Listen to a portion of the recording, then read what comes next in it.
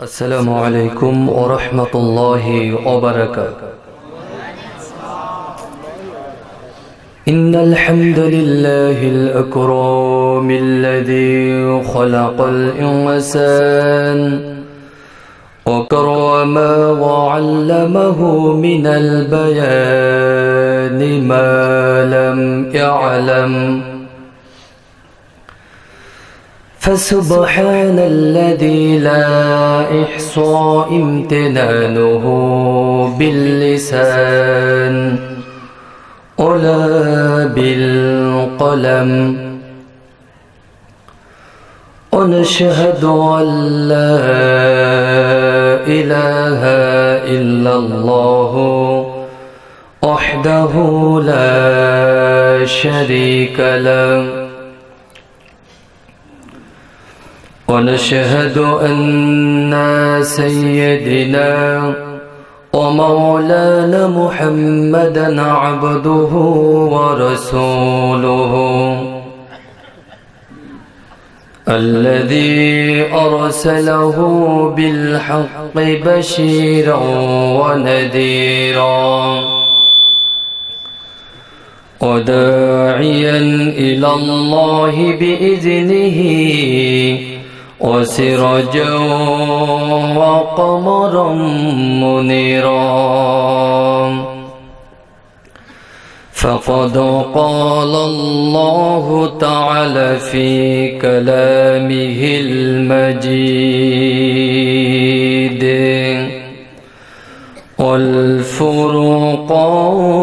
والفرقانه الحميد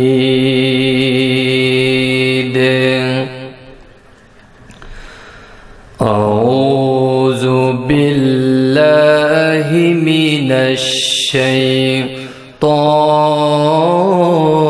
الرجيم.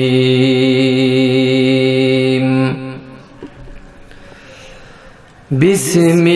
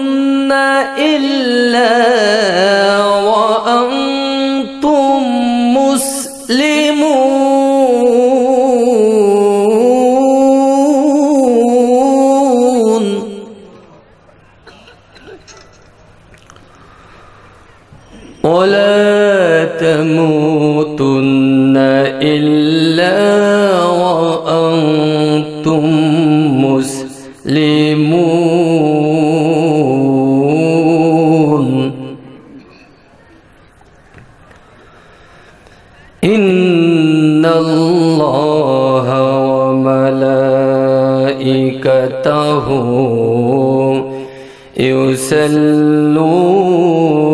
على النبي. يا أيها الذين آمنوا صلوا عليه وسلموا تسليما. اللهم صل على محمد وعلى آل محمد كما صليت على إبراهيم وعلى آل إبراهيم إنك حميد مجيد.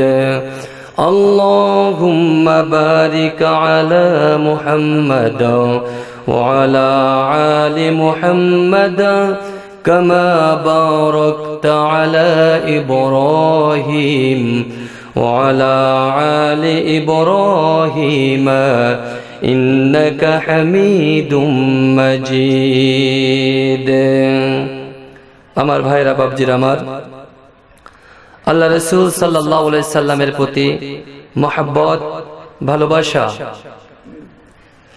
আমাদের সকলের মাঝে কম আছে না বেশি আছে? একটু আওয়াজ দিয়ে বলুন, কম আছে না বেশি আছে?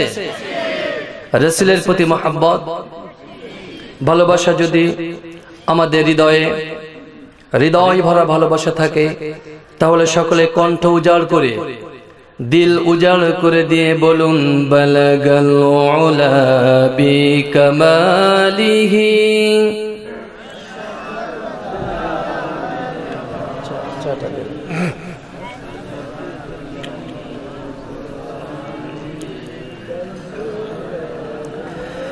مشرق حب محمد، مطلع دیوانے میں مطلع خورشید شقاس سینے سو جان میں بلغ العلا بی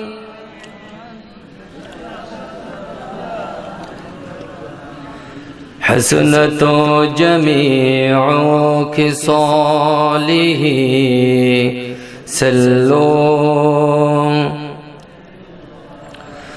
قدموں میں مصطفیٰ کی میرا نصر ہوتا. اوکھا کا پاک ہوتی ہے میں کھک سر ہوتا بلگ العلابی ایک دن ماتیر بھیتا دے হবে ঘরে মোনামা কেন বন্ধ দালান ঘর একদিন মাটির ভিতরে হবে ঘর রে মোহনামার। কেন বন্ধ দালান ঘর?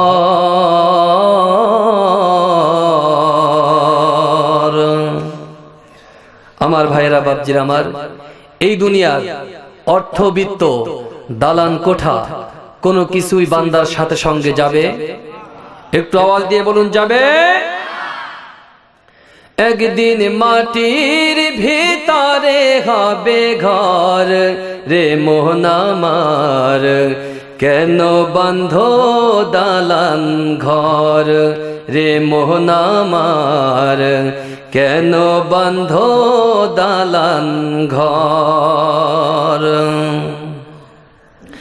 প্রাণ পাখি উড়ে যাবে, পিঞ্জর ছেড়ে।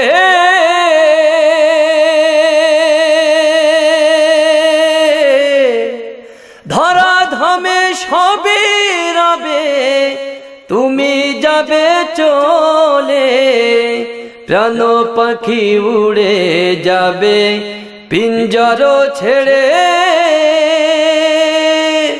ধরা ধমে সবে তুমি যাবে চলে।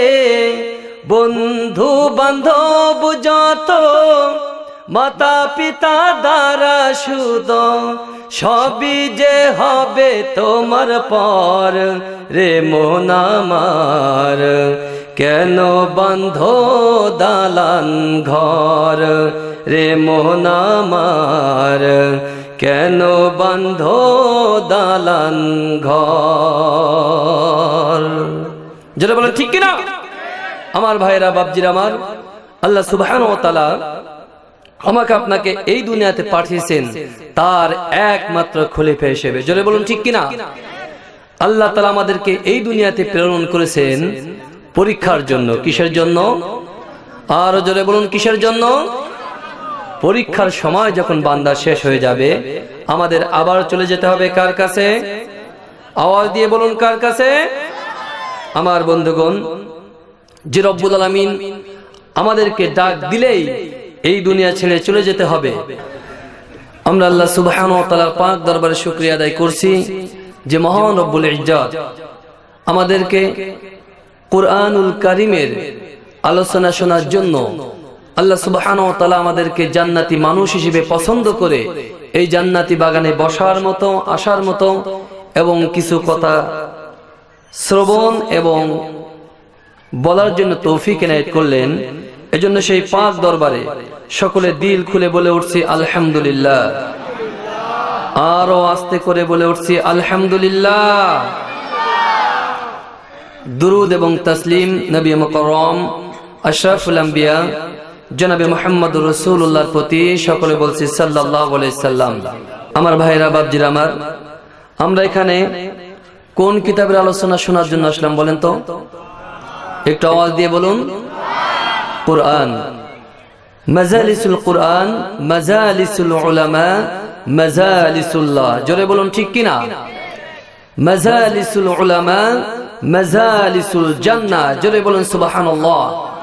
যেখানে কোরআনুল কারিমের কথাগুলো আলোচনা করা হয়, ওই মজলিসটা একটি জান্নাতের মজলিস। জোরে বলুন, ঠিক কিনা? আমার ভাইয়েরা বাবজিরা আমার, বিখ্যাত সুফি হজরত হাসান বস্তি রহমাতুল্লাহ বলেছেন, এই পৃথিবীতে যত জায়গা আছে, সব জায়গাগুলো হলো অন্ধকারাচ্ছন্ন, কালো, ঘোর, অন্ধকারপূর্ণ জায়গা। জোরে বলুন, ঠিক কিনা?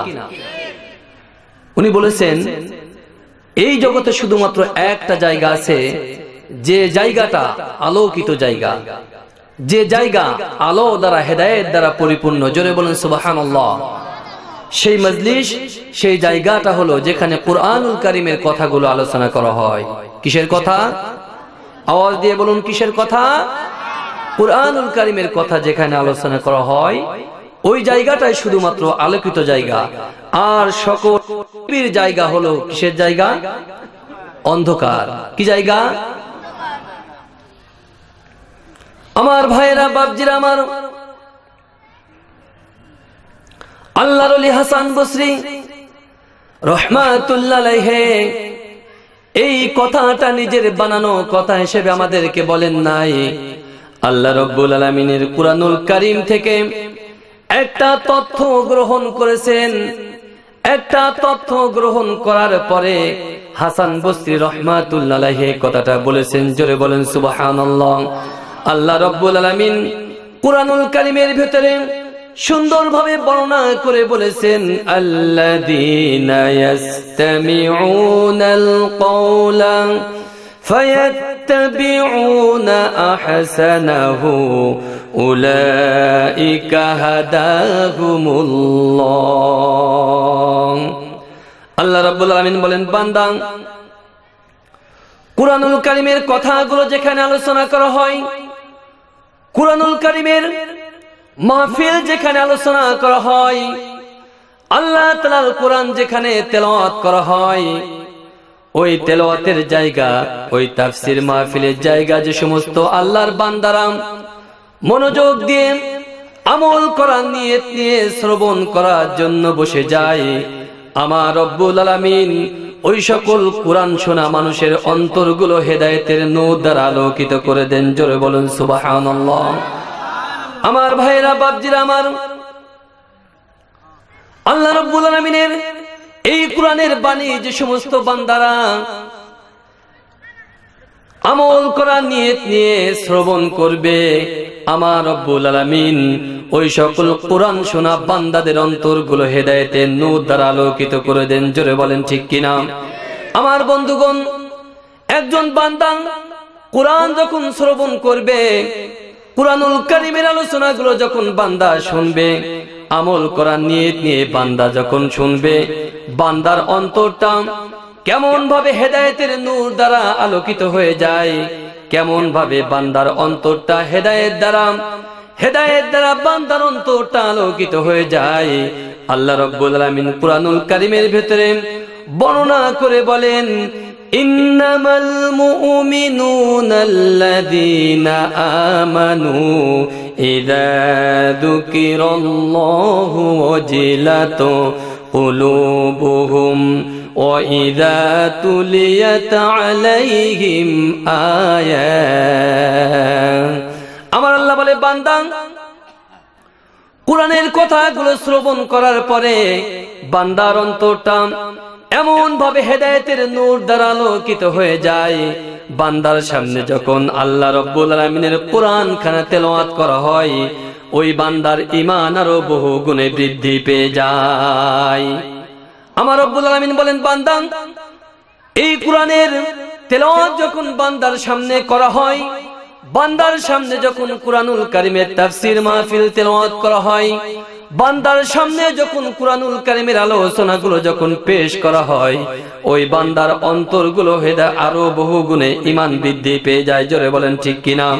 আমার ভাইয়েরা বাবজির আমার, একজন বান্দার ইমান কেমন ভাবে বৃদ্ধি পেয়ে যায়? বান্দার অন্তর যখন হেদায়েতের নূর আলোকিত হয়ে যায়, ওই বান্দার অন্তরের ইমানটা বান্দার ইমানটা কেমন ভাবে বৃদ্ধি পেয়ে যায়? আমার আল্লাহ তালা বলে, বান্দা ইমান বৃদ্ধি পাওয়ার পরে ওই বান্দা দুনিয়ার কোনো মানুষের পরোয়া করবে না। জোরে বলেন ঠিক কিনা?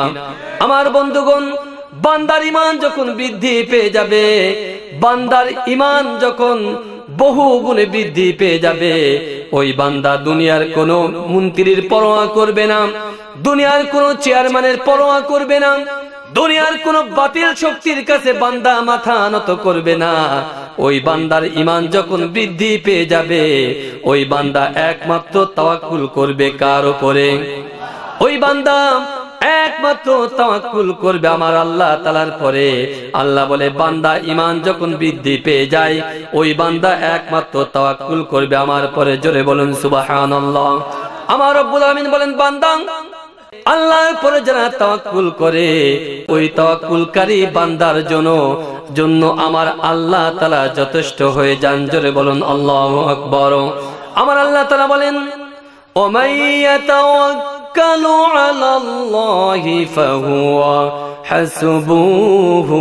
জোরে বলুন, আল্লাহু আকবার।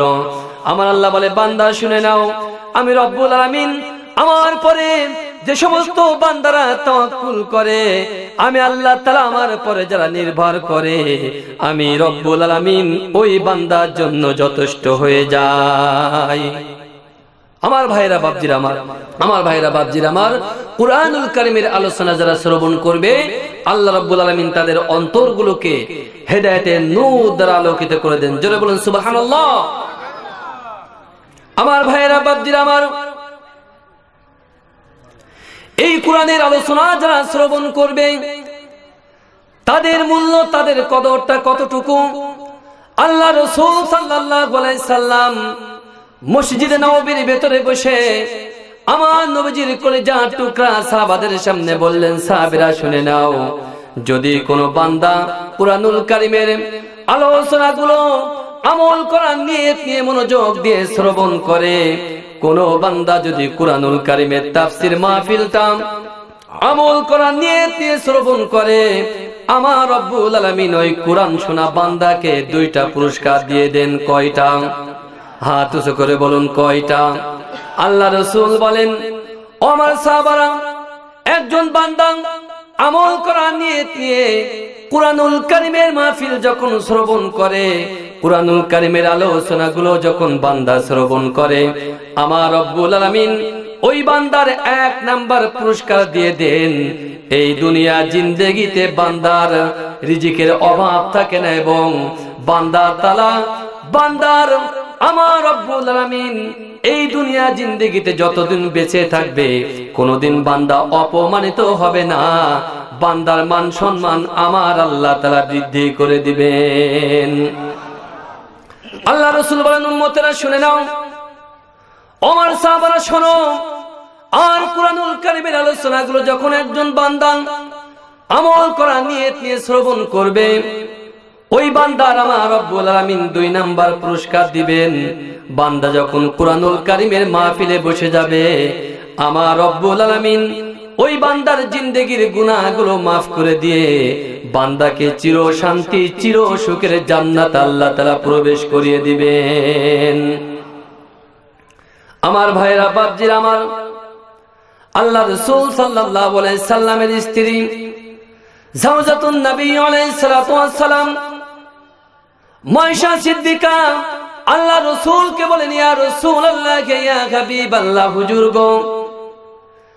আমি আয়সা আমার বয়স যখন ছয় বছর ছিল ও গো নবীজি আপনি কেন আমাকে বিবাহ করেছিলেন?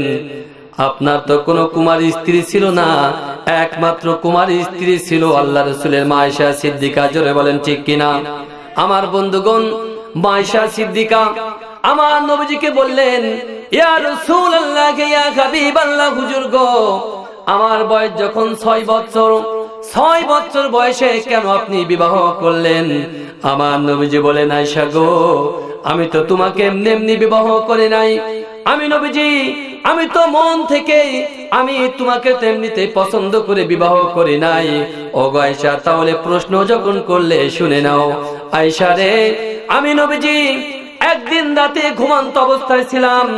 হঠাৎ করে আমার আল্লাহ তার প্রধান ফেরেশতা জিব্রাইল আমিন ঘুমের মাঝে আমার কাছে চলে আমাকে স্বপ্নে বললেন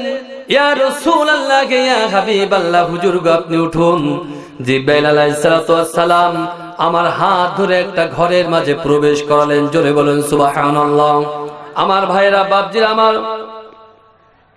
আল্লাহ রসুলকে ঘরের মাঝে প্রবেশ করানোর পরে জিব্রাইল বলেন, ইয়া রাসূলুল্লাহ হুজুর গো, এই যে তাকে দেখুন, একটা সাদা কাপড় দ্বারা আবৃত করা আছে একজন নারী, একজন মহিলা।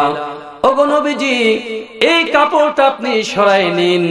আমার নবীজি জিব্রাইলের কথা শোনার পরে সাদা কাপড়টা যখন সরালেন, সাদা কাপড় সরানোর পরে আমার নবীজি দেখলেন, একটা সুন্দরী যুবতী, পরমা সুন্দরী নারী ওর ভেতরে জোরে বলুন সুবাহান আমার নবীজি বলে আয়সা তুমি কি জানো, ঘুমের মাঝে আমি কোন নারীকে, কোন পরমা সুন্দরী নারীকে দেখেছিলাম? মাইশা সিদ্দিকা বলেন, ইয়া রাসূলুল্লাহ ইয়া হাবিবাল্লাহ, হুজুর গো আমি কি করে জানব? স্বপ্ন দেখেছিলেন আপনি, আর স্বপ্ন দেখিয়েছিল আমার আল্লাহ জিব্রাইল আপনার হাত ধরেছিল। ওগো নবীজি, আপনার স্বপ্নের কথা আমি কি করে বলব? আপনি একটু বলুন, কি স্বপ্ন আমি দেখে আপনি দেখেছিলেন? আমার ভাইরা বাপজির আমার, আল্লাহ রসুল বলেন আয়সারে আমি যখন কাপড়টা সরালাম, কাপড়টা সরানোর পরে আমি দেখতে পেলাম ওই কাপড় আবৃত্তি করে শুয়ে আছে আয়সা সিদ্দিকা রাদিয়াল্লাহু তাআলা আমার নবীজি বলেন আয়সা আল্লাহ প্রধান ফেরেশতা জিব্রাইল বললেন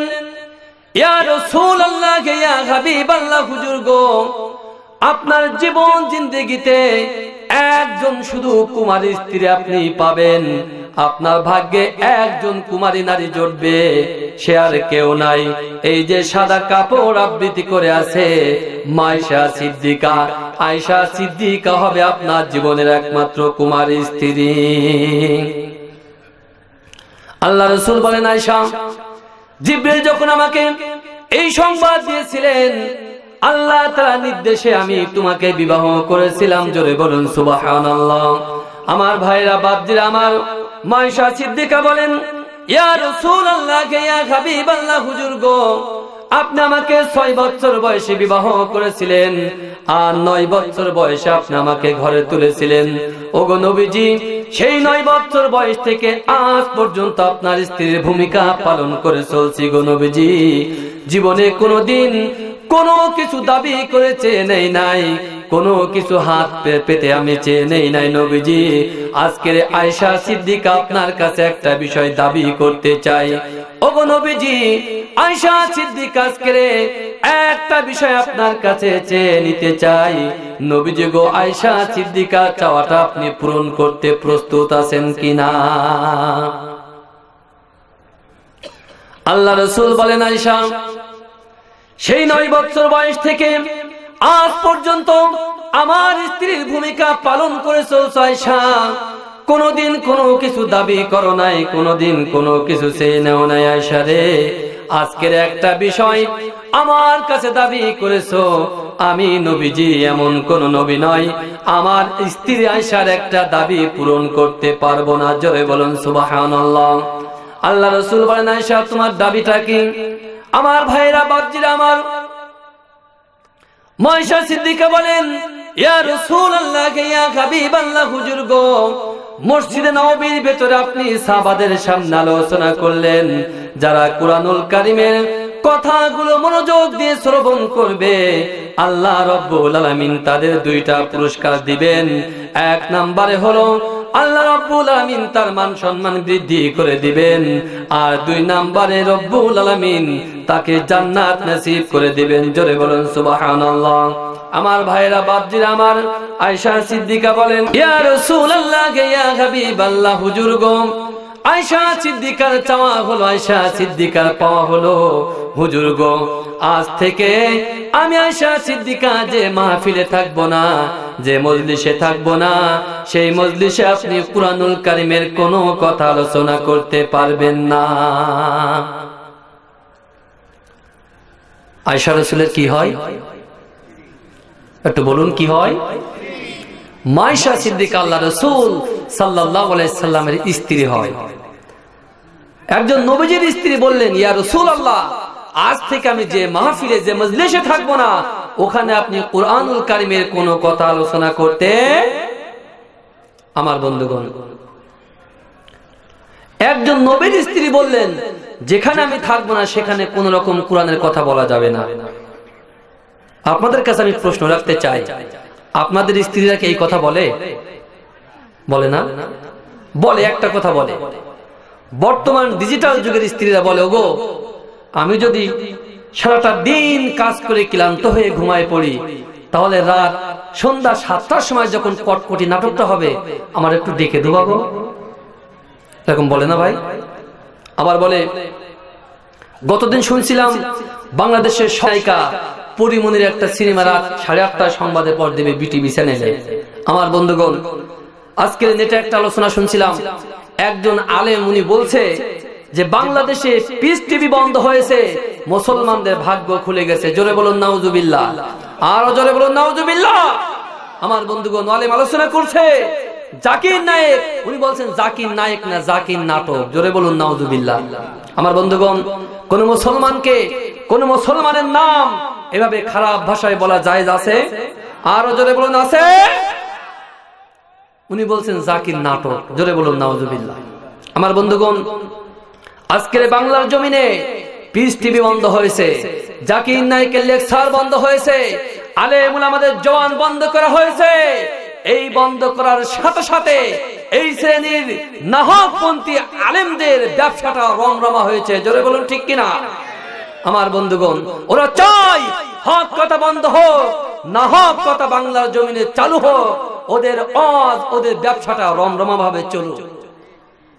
এজন্য ওরা এজন্য ওরা বজ্র কণ্ঠে আওয়াজ তুলে বাতিলের সাথে এক একটা ঘোষণা করে মুসলমানদের বিরুদ্ধে ওরা ফতোয়া জারি করছে। জোরে বলুন, ঠিক কিনা?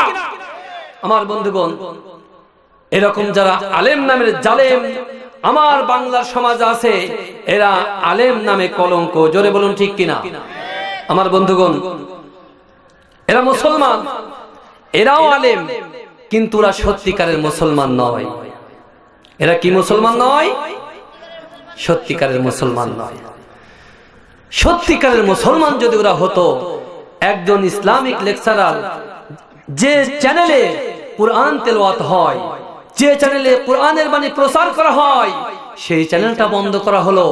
আর ওরা বলল, আলহামদুলিল্লাহ, ঠিক আছে, জোরে বলুন, নাউজুবিল্লাহ। আমার ভাইয়েরা, বাপজিরা, আমার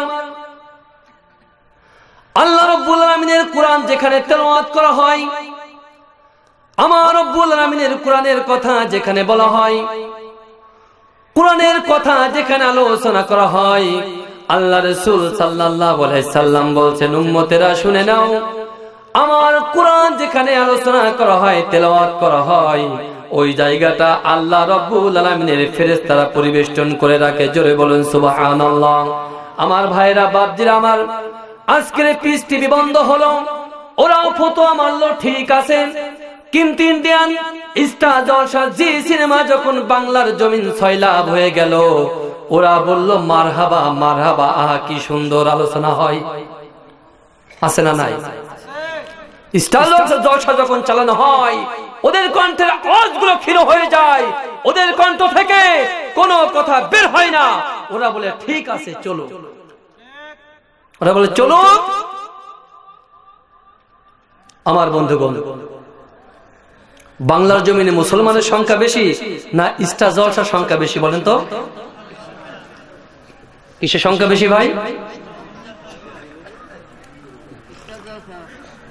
মুসলমানদের নাজাদ কনতে হবে? এক শ্রেণি বলছে ইস্টা জলসা, এক শ্রেণি বলছে মুসলমান। আমি কাদের পক্ষে নেব বলেন? বলুন কাদের পক্ষে নেব? ইস্টা জলসার পক্ষে কারা হাত করেন? আলহামদুলিল্লাহ, একজন আছে। আমার ভাইয়েরা বাবজিরা আমার, একজন মুমিন মুত্তাকি বান্দা, একজন ইমানদার বান্দা, তার জীবনটা কীভাবে অতিবাহিত হবে? একজন ইমানদার বান্দার ব্যক্তিগত জীবন, সামাজিক জীবন, পারিবারিক জীবন, অর্থনৈতিক জীবন, রাজনৈতিক জীবন কীভাবে পরিচালিত হবে? আমার রব্বুল আলামিন এই বিষয়ে কুরআনুল কারীমের ভেতরে স্পষ্ট বর্ণনা করে দিয়েছেন। জোরে বলেন, ঠিক কিনা আমার বন্ধুগণ, বাংলার জমিনে কোরআনের আওয়াজ বন্ধ করার জন্য এক শ্রেণির মুসলমান আছে না নাই? আর এক শ্রেণির মুসলমান আছে, ওরা কোরআনের আওয়াজ বন্ধের পক্ষে নেই। কোরআনুল কারিমের আওয়াজটা সমাজে কায়েম হোক, ওরা চায়। জোরে বলেন, ঠিক কিনা আমার বন্ধুগণ, আল্লাহ রব্বুল আলামিন এই দুই শ্রেণির মুসলমান দুই শ্রেণির নামধারী ইমানদারকে লক্ষ্য করে বলছেন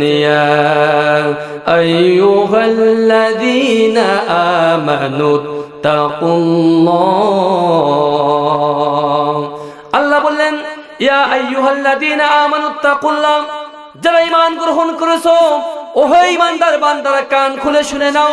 ইত্তাকুল্লাহ, আল্লাহকে ভয় করো, আল্লাহকে ভয় করতে হবে। আমার বন্ধুগণ আল্লাহ তালাকে কেমন ভাবে ভয় করতে হবে? আমার রব্বুল আমিনকে কীভাবে ভয় করতে হবে? ভয়ের পরিমাণটা কতটুকু হবে? আল্লাহ তালা তাও জানিয়ে দিলেন, জোরে বলেন ঠিক কিনা? আমার রব্বুল আলামিন কুরআনুল কারীমের ভেতরে বললেন আর ভয়টা করতে হবে, ভয় করার মতো ভয়, জোরে বলুন ঠিক কিনা? আমার বন্ধুগণ, একজন বান্দা যখন ইমান গ্রহণ করল, কালিমা বান্দা গ্রহণ করল ওই বান্দা পড়ে নিল ইলাহা ইল্লাল্লাহু মুহাম্মাদুর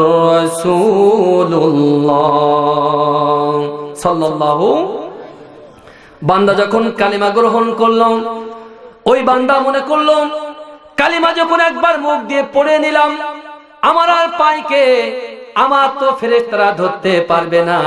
কেয়ামতের কঠিন ময়দানে আল্লাহ বলবে ফেরেস্তা গেল, ধর। আমি বলব, আল্লাহ, এখন টাইম নাই। তার কারণ দুনিয়ায় কালিমা পড়েছি। জোরে বলেন, ঠিক কিনা? আমার বন্ধুগণ, ওরা আবার ফটো আমারে ওরা বলে, আল্লাহ রসুল বলেছেন মান ক্বালা লা ইলাহা ইল্লাল্লাহ ফাদাখালাল যে ব্যক্তি লা ইলাহা ইল্লাল্লাহ পড়ে নিল পড়ে নিল, ওরা জান্নাতে প্রবেশ করবে, আল্লাহ রসুল বলেছেন, ওরাই ফতোয়া মেরে দেয়। আমার ভাইরা বাবজির আমার, আল্লাহ রসুল যখন এই হাদিসটি বললেন, হযরত ওমর ইবনুল খাত্তাব আবু হুরায়রার গালে একটা চড় কষে দিলেন।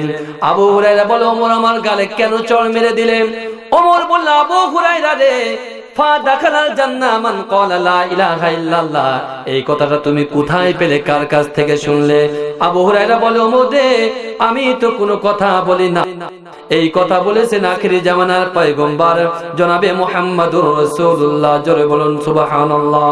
আমার ভাইরা, বাপজিরা, আমার হযরত ওমর বলে, আবু হুরায়রা তুমি যে কথাটা বললে, এই কথার পক্ষে কোনো দলিল, কোনো যুক্তি আছে কিনা? আবু হুরায়রা বলে ওমর রে, দলিল যদি নিতে চাও, যুক্তি যদি নিতে চাও, তবে আখরি জামানার পয়গম্বর নবীজির কাছে চলো। আমার ভাইরা বাপজিরা আমার হযরত ওমর রাদিয়াল্লাহু তাআলা আমার নবীজির কাছে আসলেন। আল্লাহ রসুল সাল্লাহ সাল্লাম আবু হুরাইরার মুখের দিকে তাকে বললেন, আবু হুরাইরা রে, গালে কেন লাল দাগ দেখা যায়? কে তোমাকে মারলো? আমার ভাইরা, বাপজির আমার, আবু হুরাইরা নবীজির কথা শোনার পরে চোখ দিয়ে পানে সে যায়। ওমর যখন চল মেরে দিল, আবু হুরাইরা সময় কিন্তু কানতে সাহস পায় নাই।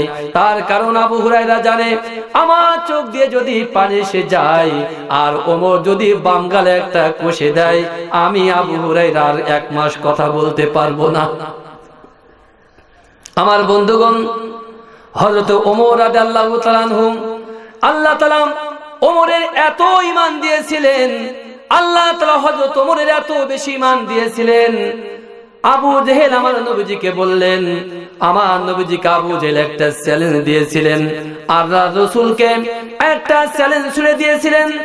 আবু জেহেল আমার নবীজিকে বললেন, মোহাম্মদ রে ওগো মোহাম্মদ, শুনে নাও, তুমি যদি আমার সাথে একটা চ্যালেঞ্জে জিততে পারো, এই চ্যালেঞ্জে যদি তুমি বিজয়ী হয়ে যাও, তাহলে আমি আবু জেল, তোমার চাচা ইসলাম গ্রহণ করব। জোরে বলুন, নাউজুবিল্লাহ। আমার ভাইরা, বাপজিরা আমার, আবু জেহেল্লা মার্কা মুসলমানরা কখনো মুমিন মুত্তাকি হবে না, জোরে বলেন ঠিক কিনা? আমার বন্ধুগণ, আল্লাহ রসুল বললেন, চাচা, একটা চ্যালেঞ্জ কেন? আপনি যদি সত্যিকার অর্থে মুসলমান হয়ে যান, সত্যিকার অর্থে যদি আপনি মুসলমান হন, আমি আব্দুল্লাহর পুত্র মুহাম্মদ এরকম একশোটা চ্যালেঞ্জ মোকাবেলা করতে রাজি আছি। জোরে বলেন সুবাহান আমার ভাইরা, বাপজিরা, আমার আল্লাহ রসুল বলেন ওগো চাচা, চ্যালেঞ্জটা কি একটু আমাকে বলুন? আবু জেল বলল, মোহাম্মদ, একটু দাঁড়াও। আমি চ্যালেঞ্জের কথা তোমাকে এখনই বলব আমাকে একটু সময় দাও। আমার ভাইরা, বাপজিরা, আমার আল্লাহ রসুল এবং আমার আল্লাহ, তারা চির দুশ্মন। আবু জেহেল আল্লাহ রসুলকে রাস্তার মাঝে দাঁড়িয়ে দিয়ে আরবের সব থেকে বড় বীর সব থেকে বিখ্যাত বীর, যার নাম ছিল রুকানা। কি নাম? আল্লাহ রসুলকে রাস্তার মাঝে দাঁড় করিয়ে আবু জেল রোকানার বাড়িতে চলে গেলেন। রোকানাকে বললেন, রোকানা রে, আমি একজন মানুষের সাথে একটা চ্যালেঞ্জ ছুড়ে দিয়েছি। ওই চ্যালেঞ্জে আমি যদি হেরে যাই, আমি যদি হার মেনে যাই, তাহলে আমাকে ইসলাম গ্রহণ করতে হবে। আবদুল্লাহর পুত্র মোহাম্মদ যা কিছু বলবে আমাকে মেনে নিতে হবে। রোকানা বলেন, নেতা চ্যালেঞ্জটাকে একটু আমাকে বলুন? আমার ভাইরা বাবজিরা আমার আবু জেল বলল, রুকানা, সেই চ্যালেঞ্জে যদি আমি জিততে না পারি, আমি যদি হেরে যাই, আমি ইসলাম গ্রহণ করব, আর সেই মানুষটা যদি চ্যালেঞ্জে হেরে যায়, তাহলে তাকে আমি হত্যা করব। আর হত্যা যদি না করতে পারি, আরব থেকে তাকে চিরতরে বহিষ্কার করে দেব। আরবের সব থেকে বড় বেরুকানা বললাম ওগো নেতা চ্যালেঞ্জটা কি আমাকে একটু বলুন? চ্যালেঞ্জের কথা না শুনলে আমি কীভাবে আপনাকে আশ্বাস্ত করব? আবু জেল বলল, রোকানা রে, আমি আবদুল্লাহর পুত্র মোহাম্মদকে কথা দিয়েছি। তার সাথে যদি তুমি কুস্তিতে লড়ে জিততে পারো, তাহলে আমি তাকে হত্যা করব। এমনকি আমি তাকে মক্কা থেকে বের করে দেব। জোরে বলুন, নাউজুবিল্লাহ। আমার ভাইয়েরা বাপজিরা আমার আবু জেল বলল, রুকানা, আর যদি আমি আবু জেল তুমি যদি কুস্তিতে হেরে যাও, আর আমি আবু জেল যদি চ্যালেঞ্জে হেরে যাই, তাহলে আবদুল্লাহর পুত্র মুহাম্মাদের হাতে হাত দিয়ে আমি আবু জেল ইসলাম গ্রহণ করতে হবে। আমার ভাইরা বাপজির আমার আবু জেল যখন রোকানার সামনে কুস্তির কথা বলল, রোকানার বুকটা ফুলে মোটা হয়ে গেল। রোকানা বলল, নেতা গো ইয়ে কি কেমন কথা বললে? আমি রোকানা, আল্লাহ তালা এই দুনিয়ায় আমাকে পাঠিয়েছে কুস্তি লড়ার জন্য। আমি রোকানা কুস্তি ছাড়া তো কেন কোনো কিছু বুঝি না। আর এই আরবের বুকে এমন কোন মায়ের লাল নাই যে কিনা রোকানার সাথে কুস্তিতে লড়তে আসে। জোরে বলেন, ঠিক কিনা? আমার বন্ধুগণ, রোকানা যখন এই কথা বলল, আবু জেহেল, রোকানার বৃদ্ধি করার জন্য, রোকানার রাগটা বাড়িয়ে দেওয়ার জন্য বলল, রোকানা, গর্ব করো না, অহংকার করো না। তার কারণ আবদুল্লাহর পুত্র মোহাম্মদ যে কি মাল? আবদুল্লাহর পুত্র মোহাম্মদুর রসুল্লাহ যে এক নাম্বার নবী, তাতে কোনো সন্দেহ নাই। কেউ না জানলেও আমি আবু ঠিক করে জানি। আবু জেল ঠিকই জানে আমার নবীজি কেমন নবী। ছেলে বলুন, ঠিক কিনা? আমার বন্ধুগণ আবু জেল বলল, রোকানা, এই কুস্তি তুমি পারবে কিনা বলো? এই কুস্তি লড়তে তুমি পারবে কিনা আমাকে তো আশ্বস্ত করো। রোকানা বলল, নেতা গো আবু জেহেল ও আবু জেল, তুমি আমাকে কথা দিয়েছ। তুমি যদি কুস্তিতে লড়ো, তাহলে মোহাম্মদকে দুনিয়া থেকে বিদায় করা হবে। ওগো নেতা, কোনো কুস্তি লাগবে না। আপনি আমাকে এখনই নির্দেশ দিয়ে দিন। এই মুহূর্তে মোহাম্মদ যেখানে আছে, লোকেশনটা বলে দিন। আমি মোহাম্মদের ঘাটা মোটকে এখনই হত্যা করব। জোরে বলুন, নাউজবিল্লাহ। আমার ভাইরা বাপজির, আমার আবু জেল বলল, রোকানা, তা তো হবে না, তা তো হবে না। আমি আর মোহাম্মদকে কথা দিয়েছি, তুমি কুস্তিতে লড়বে। আর মোহাম্মদকে যখন তুমি হত্যা করবে, শুধু আমি আর তুমি নয়, গোটা আরব জাতি এই হত্যার কাহিনীটা জানবে। জোরে বলুন নাওজবিল্লা আমার ভাইরা বাপজিরা, আমার আবু জেল কুস্তির ডেটটা নির্ধারণ করে দিল। কুস্তির ডেট যখন নির্ধারণ হয়ে গেল, আমার নবীজি কুস্তিতে যাবে। আবু জেহেল তার আগে একটা সিদ্ধান্ত দিয়ে দিল, একটা শর্ত দিয়ে দিল। ও আবদুল্লাহর পুত্র মোহাম্মদ, যেদিন তুমি কুস্তিতে লড়তে আসবে, ওই দিন সব সাহাবাদের সাথে করে নিয়ে আসবে। কিন্তু একজন সাহাবা আছে, যার নাম হলো ওমর ইবনুল খত্তাব। এই ওমরকে কিন্তু তুমি সাথে করে আনতে পারবে না। আমার নৈব চাষা ওমরের সাথে আপনার আবার কিসের ঝগড়া? সব সাহাব আসবে, ওমর আসবে না। এ কেমন কথা? চাষা ওমরের সাথে কি আপনার কোনো গন্ডগোল আছে নাকি? আমার বন্ধুগণ, আল্লাহ রসুলকে যখন এই কথা বলল, আবু জেল বল এমন একজন মানুষ, ওমর এমন একজন সাবা যার সাথে গন্ডগোল লাগে না, ঝগড়া লাগে না মোহাম্মদ, আমি আবু জেহেল। যদি কোনদিন দেখি রাস্তার উপরান্তরে ওমর দাঁড়িয়ে আছে, ওমর রাস্তা দিয়ে হেঁটে আসছে, আর আমি আবু জেল রাস্তার অপারে প্রান্তরে আছি, ওই রাস্তা দিয়ে আমি আবু জেল কোনদিন হেঁটে যাই নাই, আমি আবু জেল কোনদিন ওই রাস্তা দিয়ে যেতে সাহস পাই নাই ওমরকে দেখার সাথে সাথে আমার বুকের সাত পাউন্ড রক্ত একেবারে শুকিয়ে ধুলো হয়ে যায়। জোরে বলেন সুবাহান আমার ভাইরা বাবজি আমার।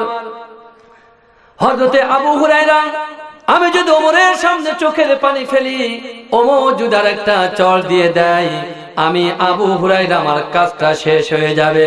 আমার নবীজি বলে ও আবু হুরাইরা গালে কেন দাঁত, কেন কান্নাকাটি করো? আবু হুরাইরা চোখে কেন তোমার পানি দেখা যায়? আবু হুরাইরা বলেন, হুজুর গো, আপনার হাদিসটা যখন আমি ওমরের সামনে বললাম, মান কলালা ইলাহা ইল্লাল্লাহ ফাদাকালাল জান্নাহ। এই কথা যখন বললাম, ওমর আমার গালে একটা চর কষে দিল, জোরে বলুন, সুবহানাল্লাহ। আল্লাহ রসুল বলে, ওমর, আবু হুরায়রাকে কেন তুমি গালে আঘাত করলেন আবু হুরাইনার গালে চড় মারার কারণটা কি? আমার নবীজির কথা শোনার পরে ওমর বলে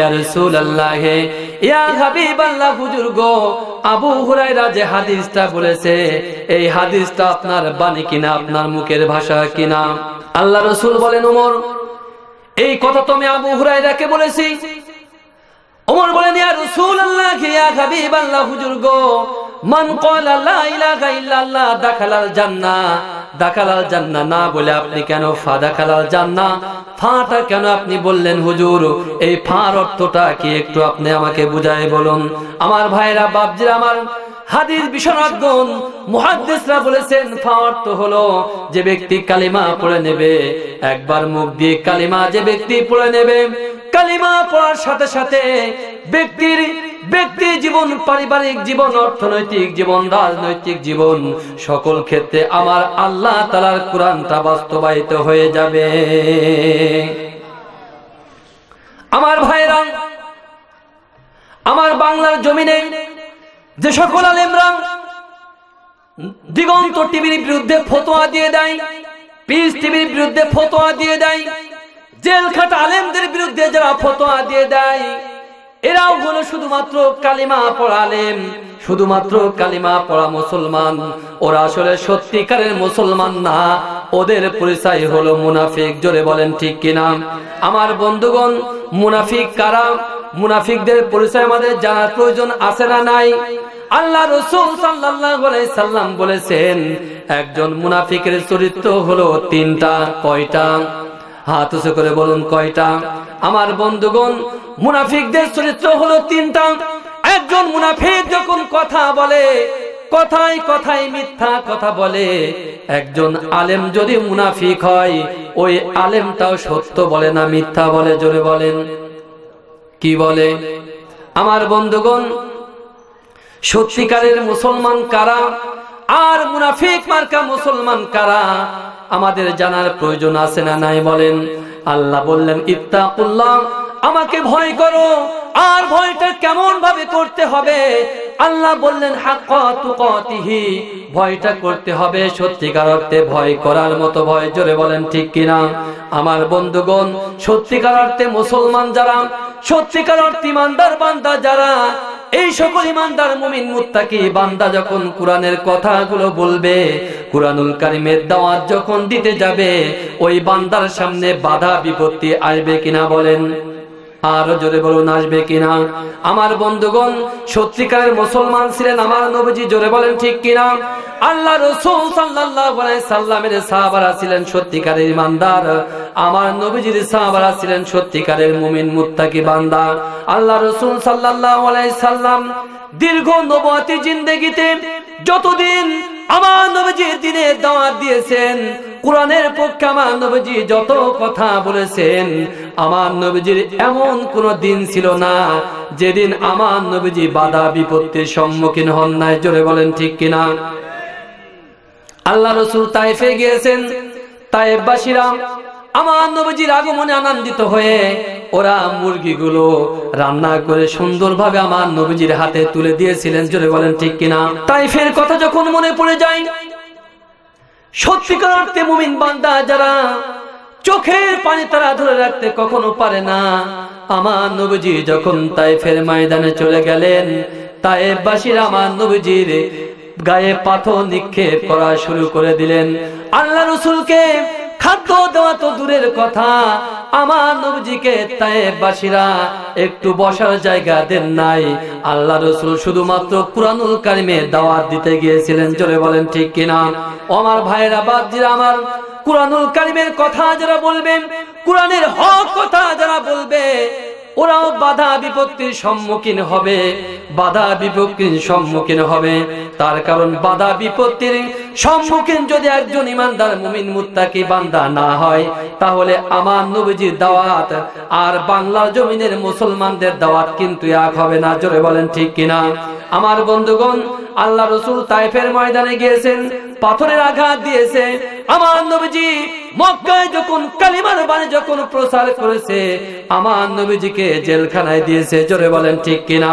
ও আমার বন্ধুগণ, বাংলার জমিনে এক শ্রেণির মুসলমান আছে এক শ্রেণির আলেম আছে, ওরা শুধুমাত্র কালিমা পড়ে জান্নাতে যেতে চায়।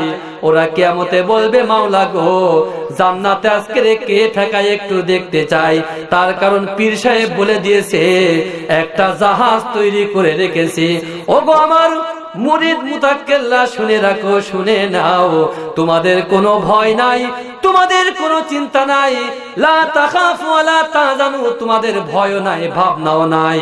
তার কারণ কিয়ামতের ময়দানে আমি একটা জাহাজ তৈরি করে রেখেছি। ওই জাহাজে করে আমি তোমাদেরকে জাহান্নামে নিয়ে যাব। আমার ভাইরা, জান্নাতে নিয়ে যাওয়ার ক্ষমতা কার আছে বলেন তো? আমার রসুলের আছে, কার আছে? আল্লাহ রসুলের আছে, কার আছে? আল্লাহ রসুল বলছে, সাহাবারাম কিয়ামতের কঠিন ময়দানে আমি নবীজি জান্নাতের ঝান্ডাটা ধরবো, জান্নাতের ঝান্ডা জান্নাতের পতাকাটা ধরে আমি নবীজি আগে আগে দৌড়িয়ে জান্নাতে চলে যাব। আর আমার গুনাগার উম্মতেরা আমাকে অনুসরণ করে করে জান্নাতে চলে যাবে। জোরে বলেন, সুবহানাল্লাহ। আমার ভাইরা, বাপজিরা, আমার জান্নাত কি অত সোজা? আল্লাহ রসুল দাওয়াত দিয়েছেন নবজির গায়ে পাথর নিক্ষেপ করেছে। আমার নবজি দিনে দাওয়াত দিয়ে দিয়েছেন। আল্লাহ রসুলকে জেলখানায় বন্দি করে দিয়েছে। জোরে বলেন, ঠিক কিনা? আমার বন্ধুগণ, আর আপনি দাওয়াত দিয়ে দিবেন। আপনার জন্য হিজরত আছে, নুসরত আছে, মুরগির রান আছে, বড় বড় মাছের মাথা আছে বিরিয়ানি আছে বাজারে যত রকম ফল আছে, সব ফলগুলো কিনে আপনার সামনে সাজিয়ে দেয়। আর আপনি বলেন সব থেকে বড় দাওয়াত আমরা এখন দেওয়া শুরু করে দিয়েছি। জোরে বলুন, নাউজুবিল্লাহ। আমার বন্ধুগণ, আল্লাহ রব্বুল আলামিনের এই দিনের বাণী যারা সত্যিকার অর্থে প্রচার করবে, ওদের সামনে তো মুরগির রান আসবে না, ওদের সামনে তো বিরিয়ানি আসবে না, ভালো ভালো ফল আসবে না, ওদের সামনে আসবে বাধা, বিপত্তি আর জেলখানা, জোরে বলেন ঠিক কিনা? আমার কথা নাই। আল্লাহ রব্বুল আলামিন কুরআনুল কারীমের ভিতরে সুন্দরভাবে ঘোষণা করে বলেছেন ক্বালা ইনিত্তাখাযাত ইলাহান গায়রি লা আজআলান মিনাল মাসজুনিন।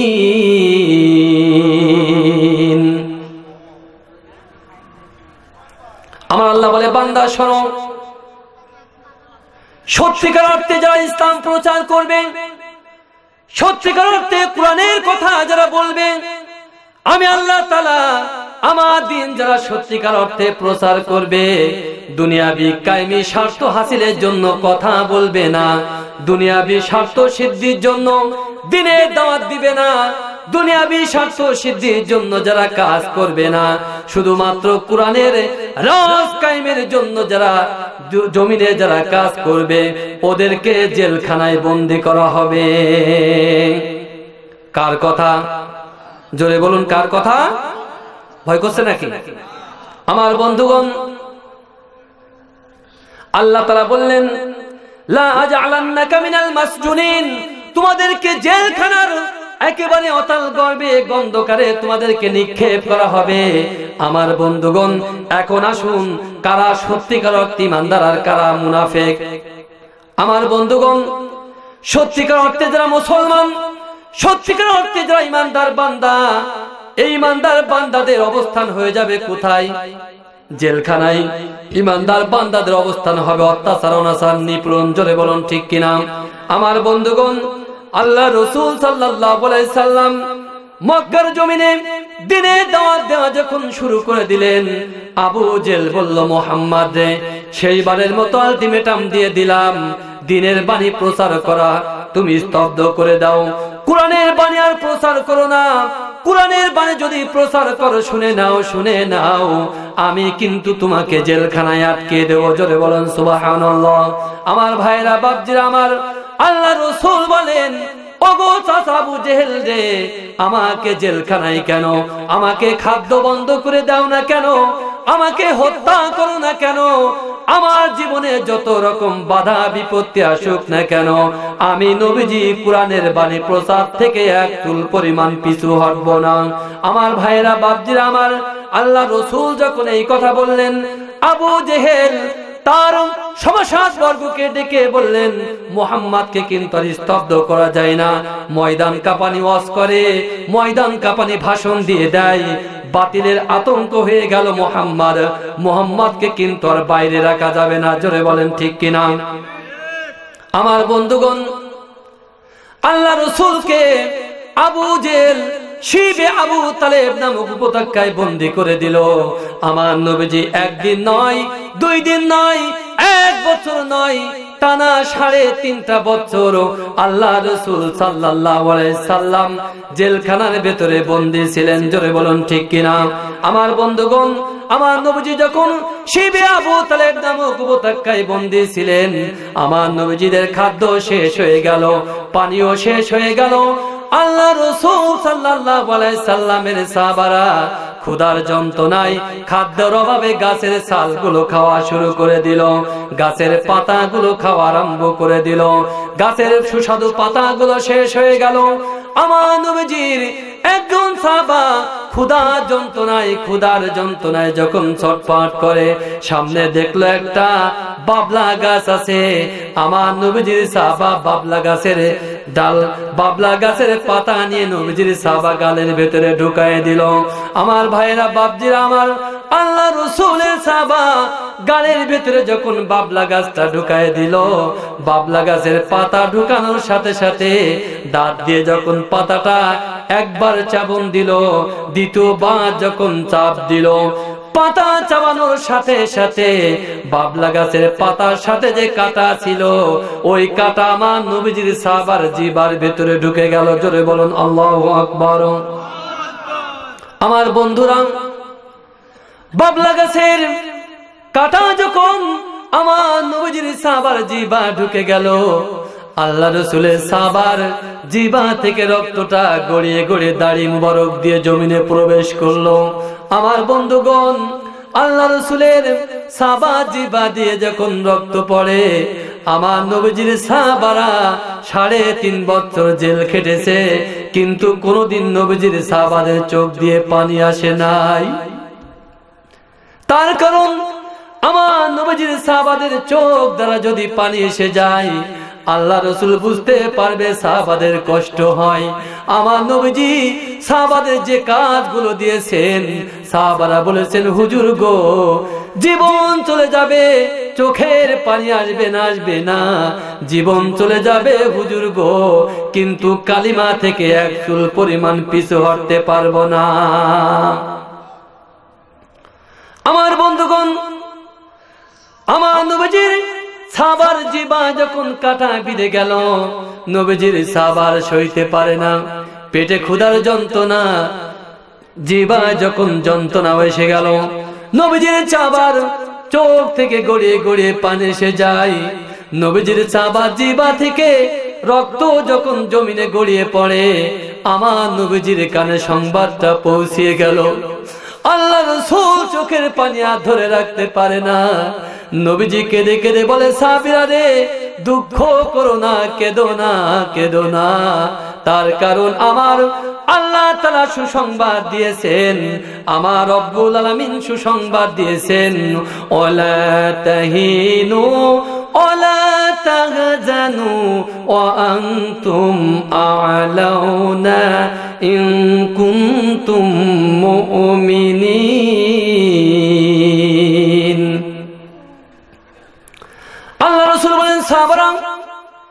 কেদো না, দুঃখ করো না। একজন মর্দে মুজাহিদের রক্ত যে জমিনে পড়ে, একজন মর্দে মুজাহিদ আল্লাহ তালার গুলামের রক্ত যে জমিন স্পর্শ করে, সেই জমিনে আল্লাহ দিন কোরআনের বিধান কায়েমতে আর সময় লাগবে না।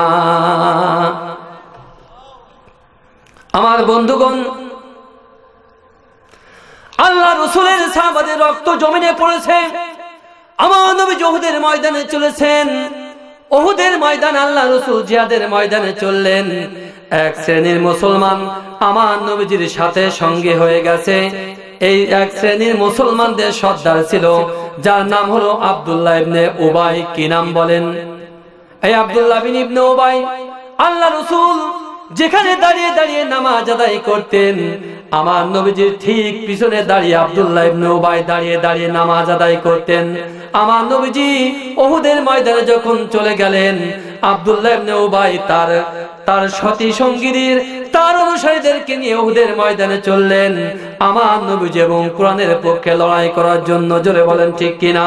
আমার ভাইরা, বাপজিরা, আমার আল্লাহ রসুল যখন ওহুদের ময়দানে নিকটবর্তী হয়ে গেলেন, আব্দুল্লাহ ইবনে উবাই বলল, মোহাম্মদ আমরা তোমার সাথে আর থাকব না থাকব না।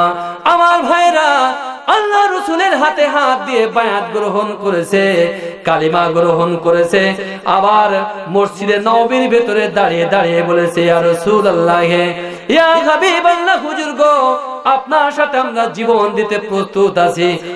ময়দানে চলুন, আমরা জিহাদ করব। আমার নবীজি নিয়ে যখন ময়দানে চলে যাবেন, আব্দুল্লাহ ইবনে উবাই বলল, মোহাম্মদ রে, তোমার সাথে আমরা আর থাকব না।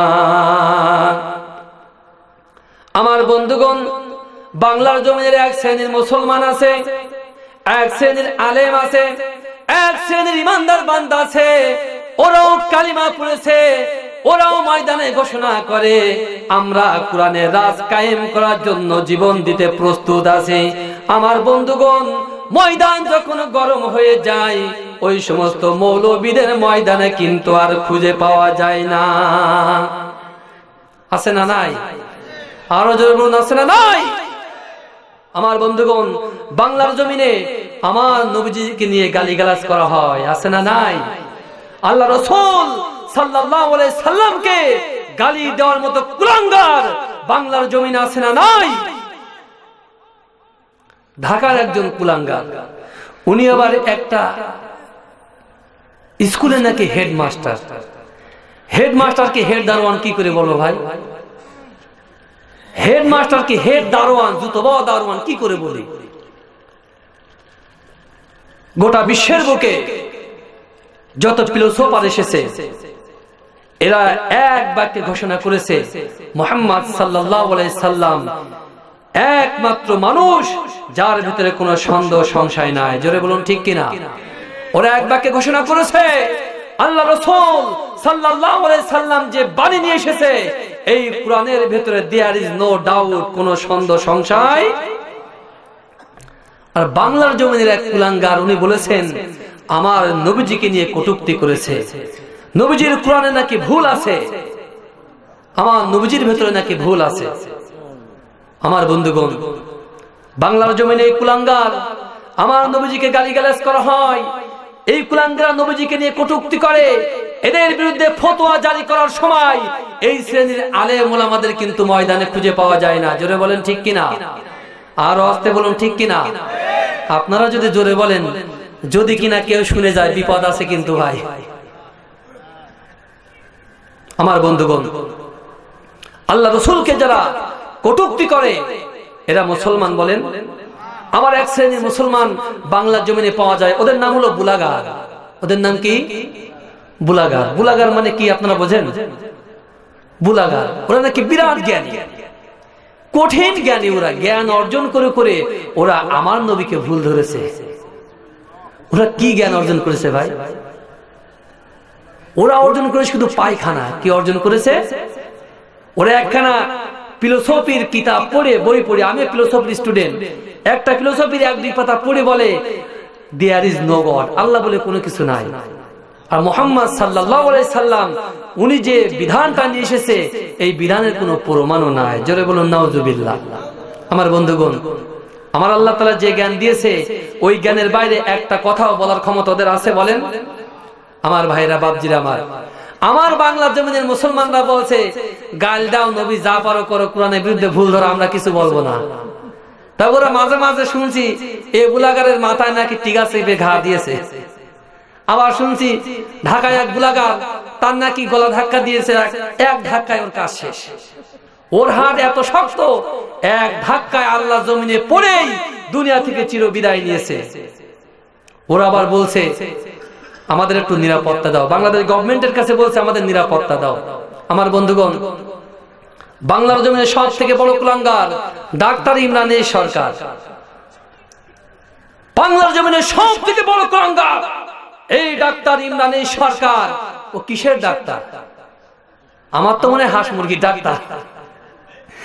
ও যদি হাঁস মুরগি ডাক্তার না হবে, মানব সেবার পরিবর্তে একজন মানুষের ফাঁসি হোক, একজন আলেম জেলখানায় বন্দী থাক, তার বিরুদ্ধে স্লোগান দেয় কীভাবে? একজন ডাক্তার যে হয় তার কাজ হলো মানব সেবা। তার কাজ হলো মানবকে যত উত্তরণ করা যায়, মানুষকে যত সুস্থ রাখা যায়। এর কাজ হলো বাংলার জমিনে নারীদেরকে ধর্ষণ করে, নারীদেরকে পেটে বাচ্চা বানিয়ে মানুষ নারীদেরকে অসুস্থ করে দেওয়া। জোরে বলুন, ঠিক কিনা? আমার বন্ধুগণ এই কুলাঙ্গারদেরকে যারা ছত্র ছায়া দিয়েছিল, ওরা আবার এই কুলাঙ্গারকে এমন লাঠি তাকে তল পেটে মেরেছে, এক লাঠির আগাতে ও নাক মুখ দিয়ে রক্ত বেরিয়ে গেছে। একদিন সংবাদে শুনলাম, ও আর নেই, গেল কনে? ভাষণ দেবে কি দা আমার বন্ধুগণ, বর্তমানে সমস্ত কুলাঙ্গাররা, এরা জীবনের নিরাপত্তা চেয়ে বাংলাদেশ পুলিশ, বাংলাদেশ গভর্নমেন্টের কাছে ওরা আবার সাহায্য চাচ্ছে। আমার বন্ধুগণ, বাংলার জমিনের মুসলমানরা কেবল দেওয়া শুরু করেছে। বাস কেবলই দেওয়া শুরু করেছে। সামনে তো এখনও কুঞ্চিওয়ালা আছে। এখন এত জলদি হবে কেন? সামনের দিন আসতে দাও। আমার ভাইরা বাবজিরা আমার আল্লাহ রসুলকে নিয়ে কটুক্তি করা হয়। আলে মুলামাদের নিয়ে কটুক্তি করা হয়। যারা আলে মুলামাদের কটুক্তি করেন এই শ্রেণির মানুষদের বিরুদ্ধে যারা স্লোগান দেবে না, জিহাদের ঘোষণা যারা করবে না, ওরা কিন্তু সত্যিকারের মুসলমান ইমানদার বান্দানা জোরে বলেন ঠিক কিনা? আমার বন্ধুগণ, আমার মনে পড়ে গেল সাইয়েদ কুতুবের কথা। মিশরের সাইয়েদ কুতুব আল্লাহ সাইয়েদ কুতুবের কথা মনে পড়ে যায়। সাইয়েদ কুতুব যখন দিনের দাওয়াত যখন দেওয়া শুরু করলেন, ইসলামী আন্দোলনের পক্ষে যখন সাইয়েদ কুতুব কথা বলা শুরু করে দিল, মিশরের একজন সরকার, তিনিও কোরআন পড়েন, তিনিও পাঁচ নামাজ পড়েন তিনি নাকি আবার নামাজ পড়ে সব সময় তসবি টেপে। আমার ভাইয়েরা, এই মুসলমান সরকার সাইয়েদ কুতুবকে বলল, ওগো সাইয়েদ কুতুব, কালিমার কথা যদি বলো, দিনের পক্ষে যদি কথা বলো, তোমার কিন্তু আর নিস্তার হবে না। আমার বন্ধুগণ আল্লাহ সাইয়েদ কুতুব বলল, ওগো মিশরের রাষ্ট্রপ্রধান জীবন চলে যাবে। আমাকে ফাঁসিতে ঝুলাও, জেলখানায় বন্দি করো, যা কিছু করো না কেন।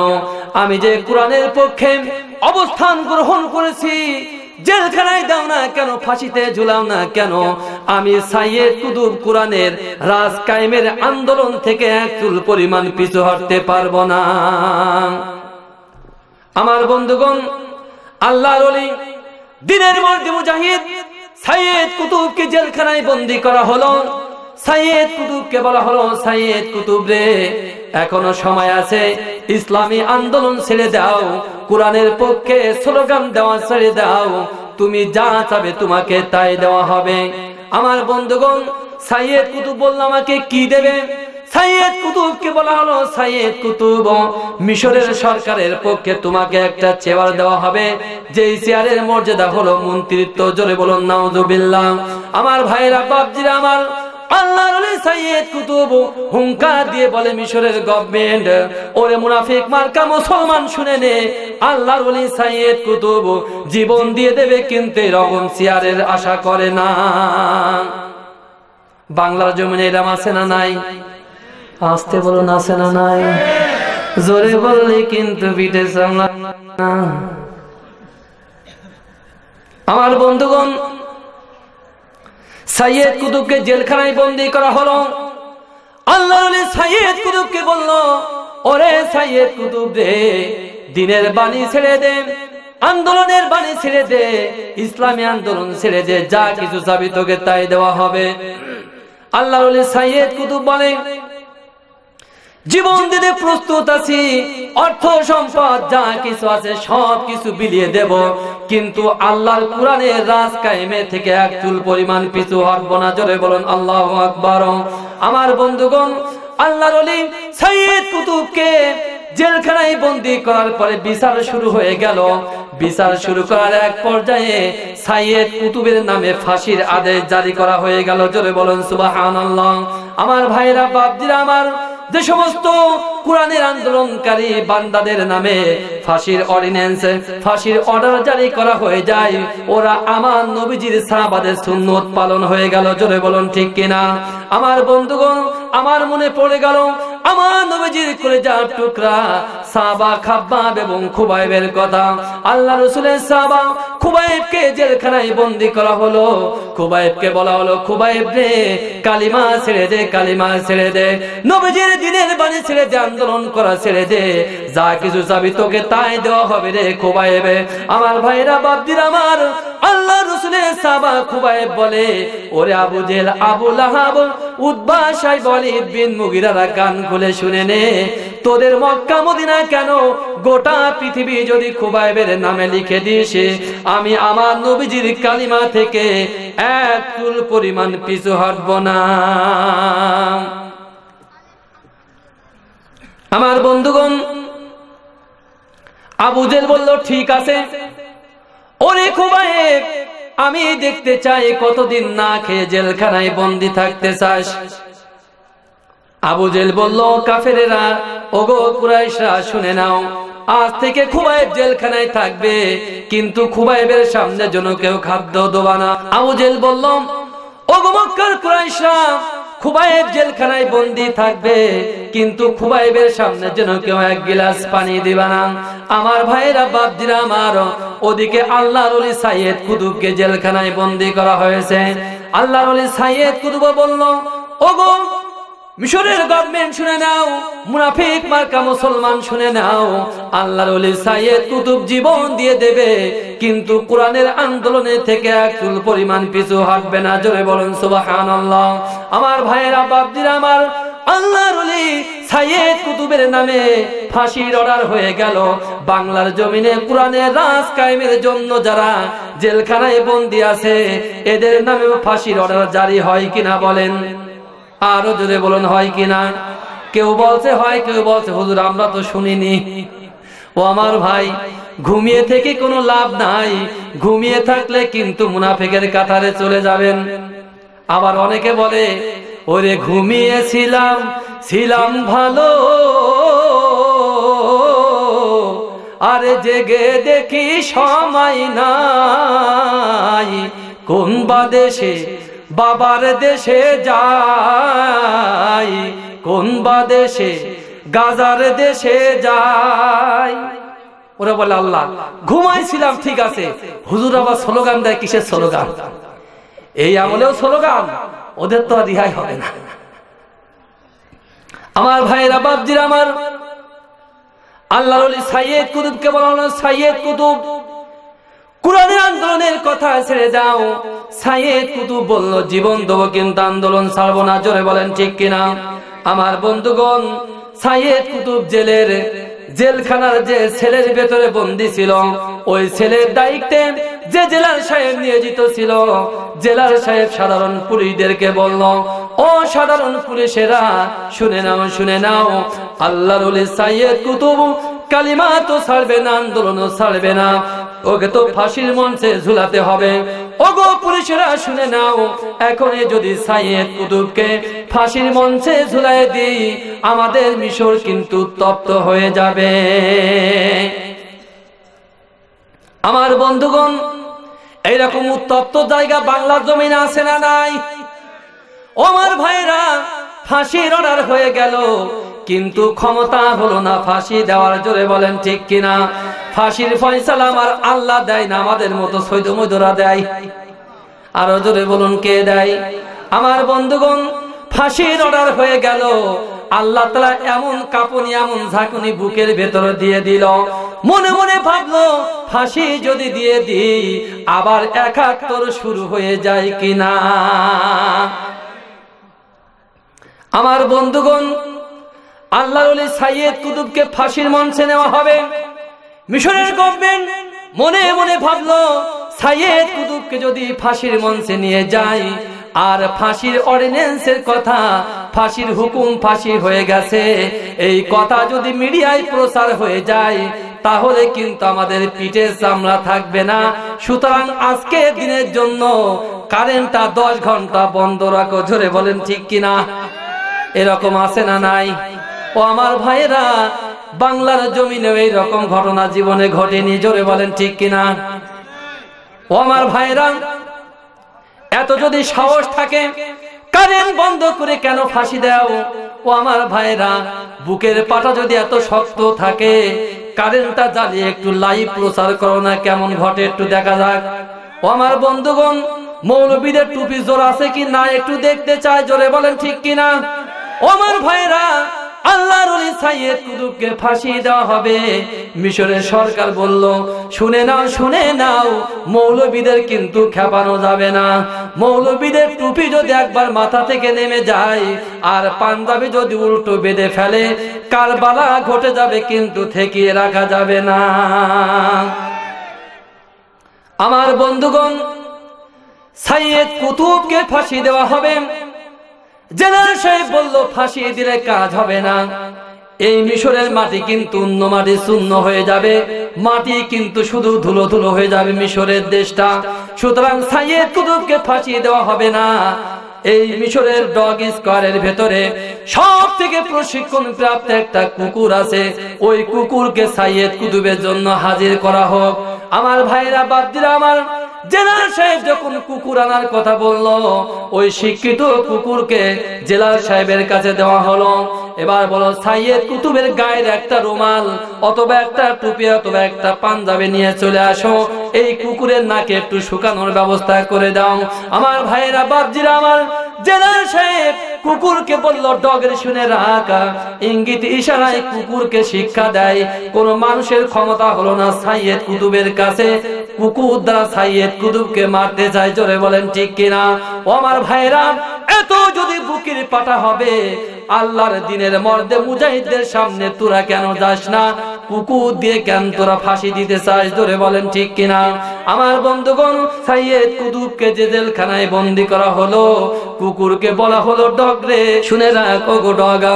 সাইয়েদ কুতুব যে জেলখানায় বন্দি করা আছে, ওই জেলখানার ভেতরে, ওই জেলখানার ভেতরে তোকে ঢুকানো হবে। সাইয়েদ কুতুবের মাংসটা খেয়ে একেবারে তসনাস করে দিবি, জোরে বলুন, নাউজুবিল্লাহ। আমার ভাইরা বাপজিরা, আমার সাইয়েদ কুতুব যে ছিল, ওই কুকুরকে জেলখানার ভেতরে প্রবেশ করানো সাইয়েদ নামাজের দাঁড়িয়ে দাঁড়িয়ে আমার আল্লাহ সাথে কথা আরম্ভ করে দিলেন।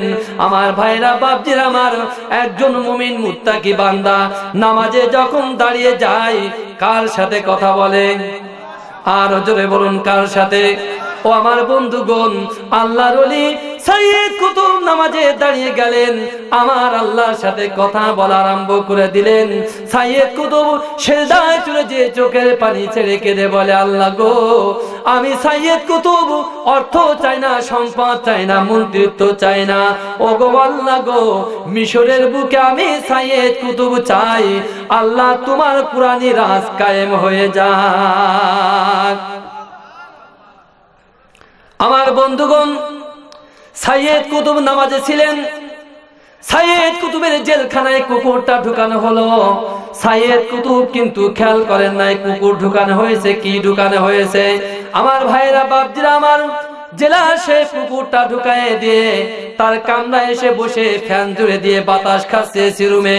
মনে মনে ভাবছে, সাইয়েদ কুতুবকে ফাঁসি দেওয়া লাগবে না। কুকুর সাইয়েদ কুতুবের গোশগুলো খেয়ে তসনাস করে দেবে। এক ঘণ্টা পরে হাড়গুলো নিয়ে একেবারে নীল নদে ফেলে দেবো। জোরে বলুন, নাউজুবিল্লাহ। আমার ভাইয়েরা, বাপজিরা আমার একজন মুমিন মুত্তাকি বান্দা যারা হবে, সত্যিকারের মুসলমান যারা হবে, আমার আল্লাহর বন্ধু যারা হবে, ওদের একমাত্র সাহায্যকারী নাসের হয়ে যায় কে বলেন? আমার আল্লাহ তারা বলেন বান্দা শুনে নাও, ও বান্দা শুনে নাও, ভয় করো না, দুঃখ করো না। সত্যিকার অর্থে যদি আমার উপরে নির্ভরশীল হয়ে যাও, আমার একজন প্রিয় মাহবুব বান্দা হয়ে যাও তোমার জন্য আমি আল্লাহ তারা যথেষ্ট হয়ে গেলাম। আমার বন্ধুগণ, সাইয়েদ কুতুব সেদায় আছে, জেলার সাহেব কুকুরটা ঢুকায় আরামে বাতাস খায়। আল্লাহর সাইয়েদ কুতুব সেজদা থেকে দাঁড়িয়ে গেল। এবার প্রশিক্ষণ প্রাপ্ত কুকুরটা সাইয়েদ কুতুবকে খেয়ে নেবে, জোরে বলেন ঠিক কিনা? আমার বন্ধুগণ আল্লাহর ওলি সাইয়েদ কুতুব সেজদা থেকে আবার দাঁড়িয়ে গেছে। আল্লাহ রাব্বুল আমিনের প্রিয় বান্দা যারা হয়ে যায়, মানলাহু মাওলা ফালাহু কুল, যারা আল্লাহর হয়ে যায়, গোটা দুনিয়া কার হয়ে যায়? তার হয়ে যায়।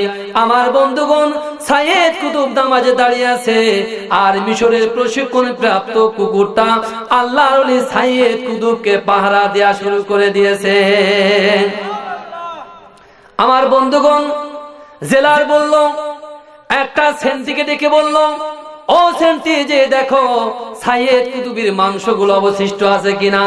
যদি কোনো অবশিষ্ট না থাকে, হাড়গুলো একেবারে ফেলে দিয়ে ওই রক্তগুলো মুছে একেবারে পরিষ্কার, পরিচ্ছন্ন করে একেবারে পাউডার মেরে দেব, যাতে করে আমাদের মিশরের গভর্নমেন্টের বিরোধী কোন মানুষের রক্ত পর্যন্ত দেখা না যায়। জোরে বলুন, নাউজুবিল্লাহ।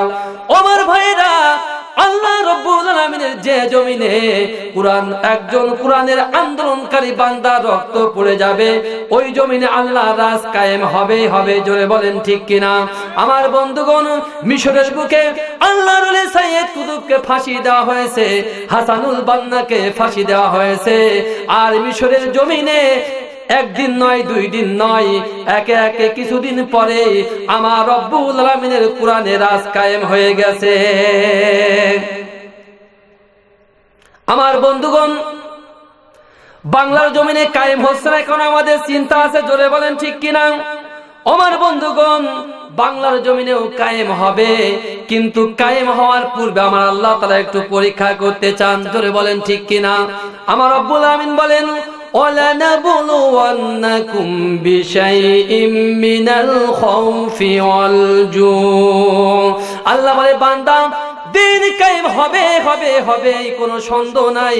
দেয়ার ইজ নো ডাউট কায়েম হবে, জোরে বলুন সুবাহান আল্লাহ আমার বন্ধুগণ, তার কারণ বাংলার জমিনে আল্লাহ রব্বুল আলামিনের মর্দে মুজাহিদের রক্ত স্পর্শ করেছে, জোরে বলেন ঠিক কিনা? আমার ভাইরা, আল্লাহ বলে, বান্দারে, দিন তো কায়েম হবে, কিন্তু দিন কায়েম হওয়ার পূর্বে আমি আল্লাহ তারা তোমাদেরকে একটু পরীক্ষা করতে চাই।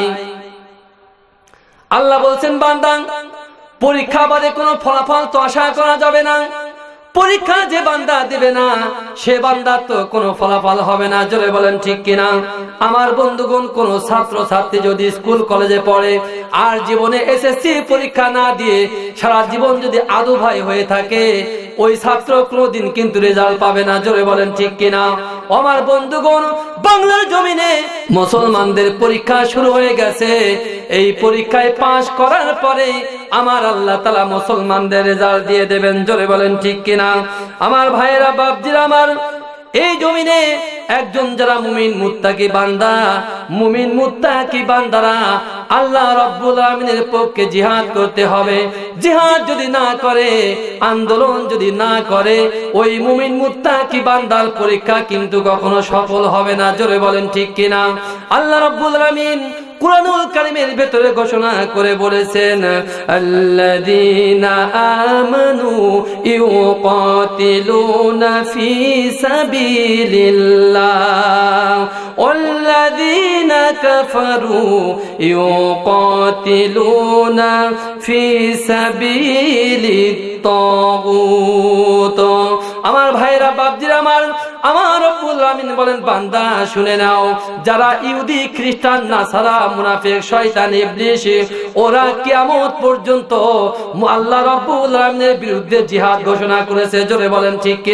আমার ভাইরা আমার, যারা যারা নাসারা, যারা ওরা আল্লাহ রব্বুল এবং মর্দে বিরুদ্ধে পর্যন্ত লড়াই করে যাবে। আল্লাহ বলছে, বান্দা, শুনে নাও, কিন্তু যারা মুমিন, মুত্তাকি বান্দা, ওই মুমিন বান্দারা? ওই সমস্ত বদমাইদের বিরুদ্ধে আল্লাহ করবে, জোরে বলেন ঠিক কিনা? আমার ভাইরা আল্লাহ বলে, বান্দা, চিন্তা করো না, চিন্তা করো না। ফাকাতিলু আউলিয়া আশ-শাইতান, ইন্না কাইদাশ শাইতানি কানা জোরে বলুন, আল্লাহু আকবার। আমার আল্লাহ বলে, ও মুমিন মুত্তাকি বান্দারা, চিন্তা করো না, ভাবনা করো না। শুনে রাখো শুনে রাখো। জিহাদ চালিয়ে যাও, পরীক্ষা চালিয়ে যাও। যারা তোমাদের বিরুদ্ধে বজ্র কণ্ঠে আওয়াজ তোলে, ওরা সীমিত সময়ের জন্য বজ্র কণ্ঠে আওয়াজ তোলে। কান খুলে শুনে নাও, এই সমস্ত শয়তানদের আওয়াজ দুই একদিনের জন্য। তার কারণ আল্লাহ তারা বলছেন, কানা দইফা ওদের আওয়াজটা খুব তাড়াতাড়ি ক্ষীণ হয়ে যাবে। আমার বন্ধুগণ বদরের প্রান্তরে লক্ষ্য করুন। তিন শত মুসলমান মর্দে মুজাহিদ যখন জিহাদ করতে গেল কাফেরা কি জোরে হুঙ্কার দিয়েছিল, জোরে বলেন, ঠিক কিনা? এত জোরে হুঙ্কার দিয়েছিল। মুসলমান দিয়ে একজন সাবা মনে মনে ভাবে, আহারে, আমরা মাত্র তিন শত তেরো জন। আমাদের গায়ে যদি আঘাত করে সবাই, তরবারি লাগবে না। সবাই যদি আমাদের জড়িয়ে ধরে, আমাদের কিন্তু অস্তিত্ব থাকবে না। আল্লাহ তারা বলে, ও মুমিন মুত্তাকি, বান্দারা চিন্তা করো না, চিন্তা করো না। একজন মর্দে মুজাহিদ একজন, মর্দে মুজাহিদ এক হাজার কাফের বিরুদ্ধে সংগ্রাম করতে পারে। জোরে বলেন ঠিক কিনা? আমার ভাইরাম বদরের প্রান্তরে হুঙ্কার যখন দিয়ে দিল, হুঙ্কার যখন দিল, আল্লাহ বলেন, ইয়া হাবিব, আল্লাহ গো, চিন্তা করবেন না, চিন্তা করবেন না। আমি আল্লাহ তালা মুমিন মর্দে মুজাহিদদের পক্ষে আছি। আমার বন্ধুগণ, আল্লাহ রসুল সাল্লাল্লাহু আলাইহি সাল্লাম তরবারি দিলেন না, কোনো বল্লভ দিলেন না। শুধুমাত্র খাজুর গাছের দু একটা ডাল ভেঙে নিয়ে আমার নবীজির সাহাবাদের হাতে দিয়ে দিলেন। আল্লাহ রসুলের সাহাবারা ওই ডাল দিয়ে কাফেরদের গায়ে আঘাত করে। এক এক আঘাতে এক একটা কাফের চোদ্দ খণ্ড হওয়া শুরু হয়ে গেল। ও আমার ভাইরা ও বাংলার জমিনের মুসলমানরা ভয় করার কারণ নাই, চিন্তা করার কারণ নাই। আমাদের পরীক্ষা সবে মাত্র শুরু হয়েছে। সামনে এমন দিন চলে আসছে, বাংলার তৌহিদি জনতা শুধুমাত্র একটা পাথর দিয়ে যখন আঘাত করা শুরু করবে, সামনে বোম আসুক, বুলেট আসুক, যা কিছু আসুক না কেন, যে বাহিনী আসুক না কেন, কোরআনের পক্ষে অবশ্যই বিজয় হবে হবে। আমার বন্ধুগণ এই জন্য আল্লাহ তারা বলেছে, তোমরা ভয় করো না, আমি আল্লাহ তারা তোমাদের পক্ষে আছি।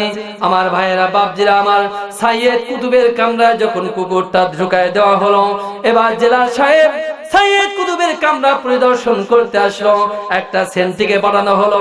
সেন্টিকে বলল, সেন্টি, যাও দেখে আসো অবস্থাটা কি? আমার ভাইয়েরা বাপজিরা আমার সেন্টি যখন জেলখানায় প্রবেশ করল, প্রবেশ করার সাথে সাথে ওই প্রশিক্ষণ প্রাপ্ত কুকুরটা আল্লাহর অলি সাইয়েদ কুতুবের গায়ে কামড় না দিয়ে সেন্টির গায়ে দিলে একটা কামড় বসিয়ে জোরে বলুন সুবাহান আল্লাহ আমার ভাইয়েরা বাপজিরা আমার এমন কামড় দিল। কামড়ের চোটে সেন্টির যাওয়া যন্ত্রণা শুরু হয়ে গেল। এক কেজি মাংস কান থেকে উঠে গেল। এবার সেন্টি চেঁচা মেচা করতে করতে জেলা সাহেবকে বললে, হুজুর, কোথায় পাঠালেন? ওখানে দেখি আজরাইল বসা আছে। আমার বন্ধুগণ, জেলার বলে আজরাইল আবার কনে? আমি তো কুকুর ঢুকালাম। সেন্টি বলে, হুজুর তাকে দেখুন, আমার পায়ে এক কেজি গোশে আজরাইল খেয়ে ফেলেছে। আমার বন্ধুগণ, বাংলার জমিনে যারা কোরআনের বিরুদ্ধে কথা বলো, বাংলার জমিনে যারা আল্লাহর বিরুদ্ধে যারা কথা বলো, শুনে নাও, বাংলার তৌহিদি জনতা তোমাদের গোষ্ঠ দূরের কথা, তোমাদের হাড় পর্যন্ত বাংলার জমিনে রাখবে না। আমার বন্ধুগণ, জেলার সাহেব সাইয়েদ কুতুবের কামরার সামনে গেলেন। যেই কিনা জেলার গিয়েছে, ওই কুকুরটা এমন জোরে হা করে আল্লাহ সাইয়েদ কুতুবের কামরা থেকে বের হয়ে গেল। জেলার সাহেব পালিয়ে যেয়ে বলে, বাবারে এই কুকুর আর কুকুর নাই। কুকুর এখন সাইয়েদ কুতুবের একজন সঙ্গী হয়ে গেছে। জোরে বলুন সুবাহান আল্লাহ আমার ভাইয়েরা, বাপজিরা আমার, এবার সাইয়েদ কুতুবের ফাঁসির মঞ্চে নেওয়া হলো। একজন হুজুর মুনাফিক মার কালেম কাদেরকে বলা হয়, দেখুন, আমার ভাইয়েরা, বাপজিরা, আমার ইমাম সাহেব আল্লাহ সাইয়েদ কুতুবের জেলখানায় যে বলছে, হুজুর আপনি এখন আসুন। সাইয়েদ কুতুব বলছে, কোথায় যাব? আমার বন্ধুগণ, ইমাম বলল, গো হুজুর, আপনি গোসল করুন, আপনি উজু করুন, আপনাকে এখন কালিমা পড়ানো হবে। আল্লাহ সাইয়েদ কুতুব বলে, কেন কালিমা আবার পড়ে কি হবে? আমার বন্ধুগণ হুজুর বলল, ওগো সাইয়েদ কুতুব, আপনার নামে তো ফাঁসির অর্ডার জারি হয়েছে। একটু পরে আপনাকে ফাঁসিতে ঝুলানো হবে। আপনি কালিমা পড়ার পর পরে আপনার ফাঁসি দেওয়া হবে। আমার বন্ধুগণ আল্লাহ সাইয়েদ কুতুব ইমামকে বলল, হুজুর রে, আমি যদি কালিমা পড়ি আমাকে কি করা হবে? বলল, আপনি কালিমা পড়লে আপনাকে ফাঁসি দেওয়া হবে। আর বলল, হুজুর রে, তুমি যদি আমার কালিমা পড়ো তার বদলতে তোমার কি দেওয়া হবে? হুজুর বলল ওগো সাইয়েদ কুতুব, মিশরের গভর্নমেন্ট আমাকে চাকরি দিয়েছে। যখন কোন আসামিকে ফাঁসি দেওয়া হবে, তখন তাকে কালিমা পড়ানো হলো আমার কাজ। সাইয়েদ কুতুব বলে, ওগো ইমাম সাহেব, আমি কালিমা পড়লে তুমি টাকা পাবে। আমি কালিমা পড়লে তুমি টাকা পাবে। আর আমি কালিমা পড়ার সাথে সাথে আমাকে ফাঁসিতে ঝুলানো হবে। জোরে বলো ঠিক কিনা ইমাম বলল হ্যাঁ। আমার বন্ধুগণ আল্লাহর সাইয়েদ কুতুব বলে ইমাম রে তোর মতো মুনাফিক মার্কা কাছে কালিমা পড়ার কোনো প্রয়োজন আমার নাই। তার কারণ, যে কালিমা পড়ার কারণে আমি সাইয়েদ কুতুব, আমাকে ফাঁসিতে ঝুলানো হবে। সেই কালিমা পড়ালে তোমাকে টাকা দেওয়া হবে। তোমার মতো বেঈমান মার্কা হুজুরের কাছে কালিমা আমার, সাইয়েদ কুতুব আমার পড়ার কোনো প্রয়োজন নাই। ওরে বেঈমান মার্কা, ও গভর্নমেন্টের পাঁচটা গোলাম শয়তান শুনে রাখা, যে কালিমার কারণে আমি ফাঁসির মঞ্চে যাচ্ছি। ওই কালিমা আল্লাহ তালা আমার কলিজার ভেতরে সব সময় জারি করে দিয়েছে। আমার ভাইরা আর বাংলার জমিনের এক শ্রেণির মানুষ পাওয়া যায়, ওরা জিকির করে করে কলিজাটা ছিঁড়ে ফেলছে। আছে না নাই? ওরা আবার গান গায় কি? ওরা পীরের দরবারে যে জিকির করে, আবার গানও গায়। আবার ঢোলও বাজায়, তবলাও বাজায়, একতারাও বাজায়, জোরে বলেন ঠিক কিনা? ওরা আবার গাজাও খায়। পীরের দরবারে যে গাজা যখন খায়, গাজার আগে একটা গান গায়, আপনারা শুনবেন। ওরা বলে, বাবা খাজা, ওরে গাজায় টান দিলে আমার দিলটা যে হয় তাজা। ও বাবা খাজা ওরে গাদায় টান দিলে আমার দিলটা যে হয় তাজা। পরের লাইনে বলে, বাবা খাজা, ওরে গাজায় যদি না দিই টান, দিও না আমার সাজা। বাবা খাজা বাবা খাজা।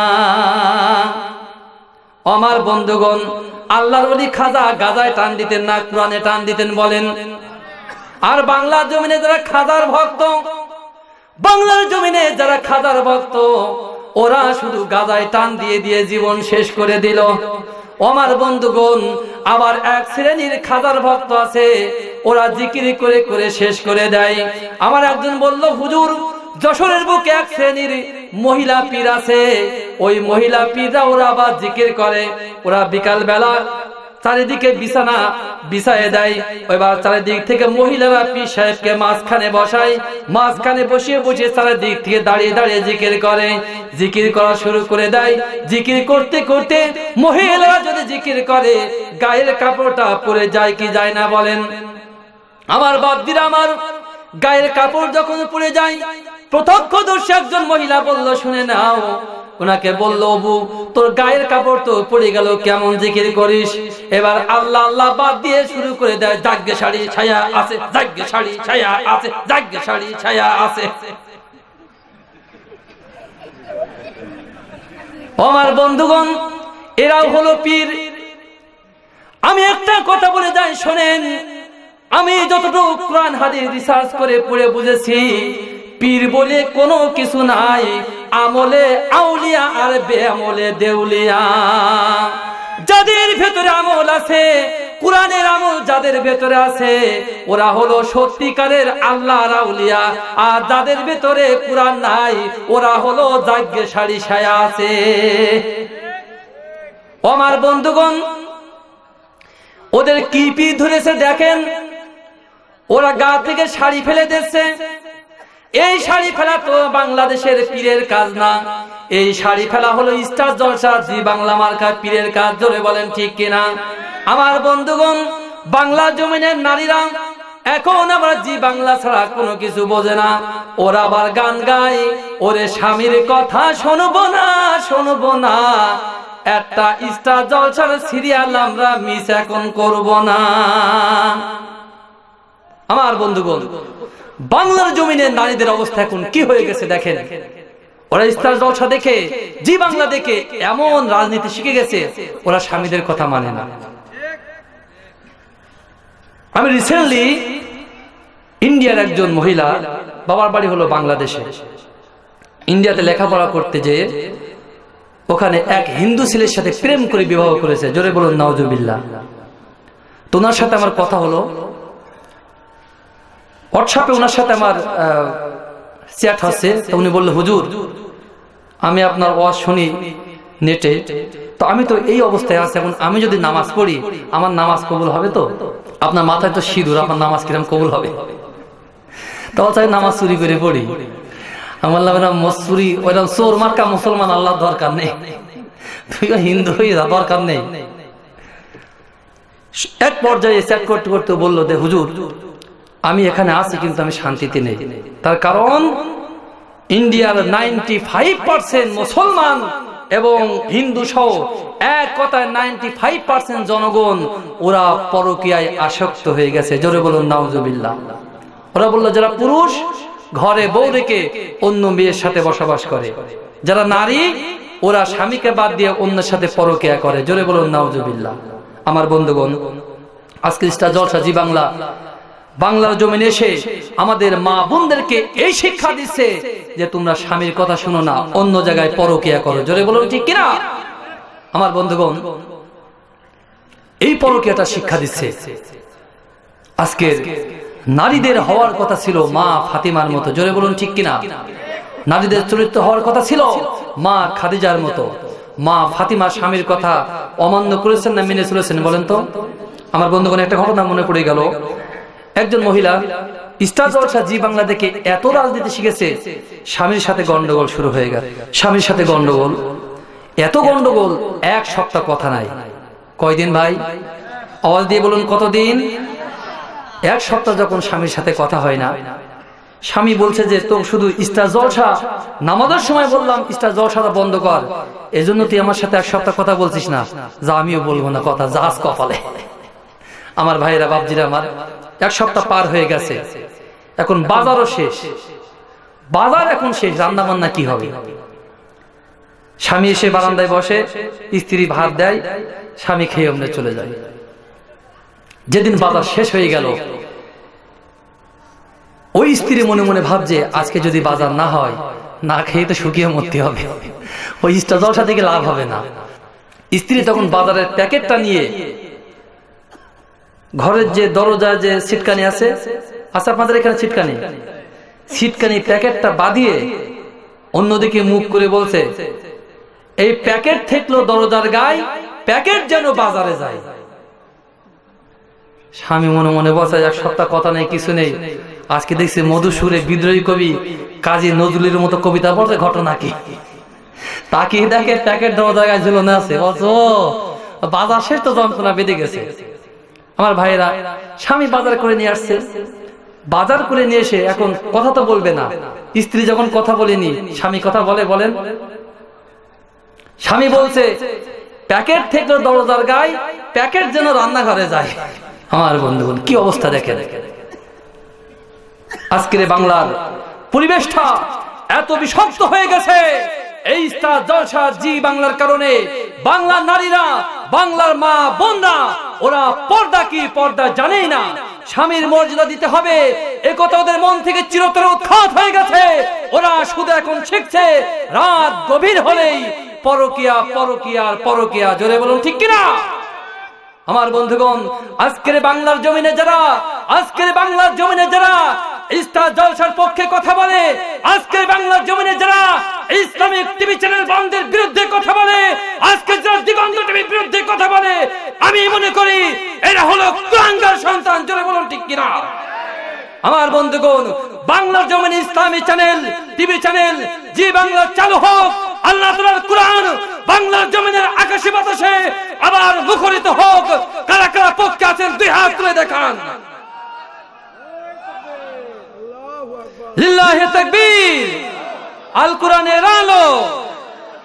আমার ভাইরা কোরআন ছাড়া কোনো মানুষের পথ, কোনো কিছু পাওয়া যাবে? কোরআনের রাস কায়েম হোক, আমরা প্রত্যেকে চাই কিনা? আমার বন্ধুগণ,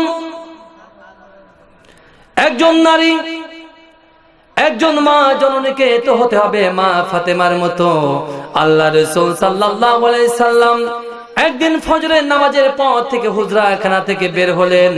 আল্লাহ রসুল দেখলেন, মা ফাতেমা মন খারাপ করে আমার নবজির বাড়ি চলে এসেছে। আল্লাহ রসুল, মা ফাতিমাকে বলে, ফাতেমা, একা কেন আসলে? জামাই আলী কোথায়? জামাইকে কেন সাথে করে আনলে না? মা ফাতেমা কোনো কথা বলে না। আমার নবীজি সবকিছু বুঝতে পারলেন। আমার বন্ধুগণ, আল্লাহ রসুল বলে, ফাতেমা কি হয়েছে আমাকে বলো, সব খুলে বলো। আমাকে যদি না বলো, আমি নবীজি কি করে তোমাদের মীমাংসা, তোমাদের ফয়সলা করব? আমার ভাইরা বাপজির, আমার আল্লাহ রসুল সাল্লাল্লাহু আলাইহি সাল্লাম যখন এই কথা বললেন, মা ফাতেমা চোখের পানি ছেড়ে দিয়ে বলে, বাবা গো আমার কলেজার টুকরা পিতা আলীর সাথে রাত্রে একটু মুখ বলা বলি হয়েছে। আলীর সাথে একটু ঝগড়া গন্ডগোল হওয়ার কারণে হজরতে আলী সারাটা রাত অন্যদিকে মুখ করে শুয়েছে, আর আমি মা ফাতেমা অন্যদিকে মুখ করে আলীর দিকে পিঠ করে শুয়েছি। অগনবীজি আমার কলেজার টুকরা পিতা শুধু তাই নয়, সকালে আলীর সাথে কথা বলি নাই, কথা না বলে আমি আপনার বাড়িতে চলে আসলাম। আল্লাহ রসুল মানে ফাতেমা, এ কি কাজ করলে, কি ভুল কাজ করলেন? যদি কোন নারী স্বামীর সাথে ঝগড়া করে গন্ডগোল করে স্বামীর সাথে ঝগড়া গন্ডগোল করে ওই অবস্থায় যদি স্ত্রীর মৃত্যু হয়ে যায়, আমি নবীজি ওই মহিলাকে কোনোদিন সাবাদ করতে পারব না। ও গো ফাতেমা, শুনে নাও, তুমি আমার কলেজার টুকরা সন্তান। তুমি যদি আলীর সাথে ঝগড়া করে মনোমালিন্য অবস্থায় ইন্তেকাল করতে কেয়ামতের কঠিন ময়দানে আমি নবীজি তোমার সাফাত করতে পারতাম না। আমার বন্ধুগণ এ তো স্ত্রী, স্বামীর সাথে কেমন আচরণ করবে বললাম।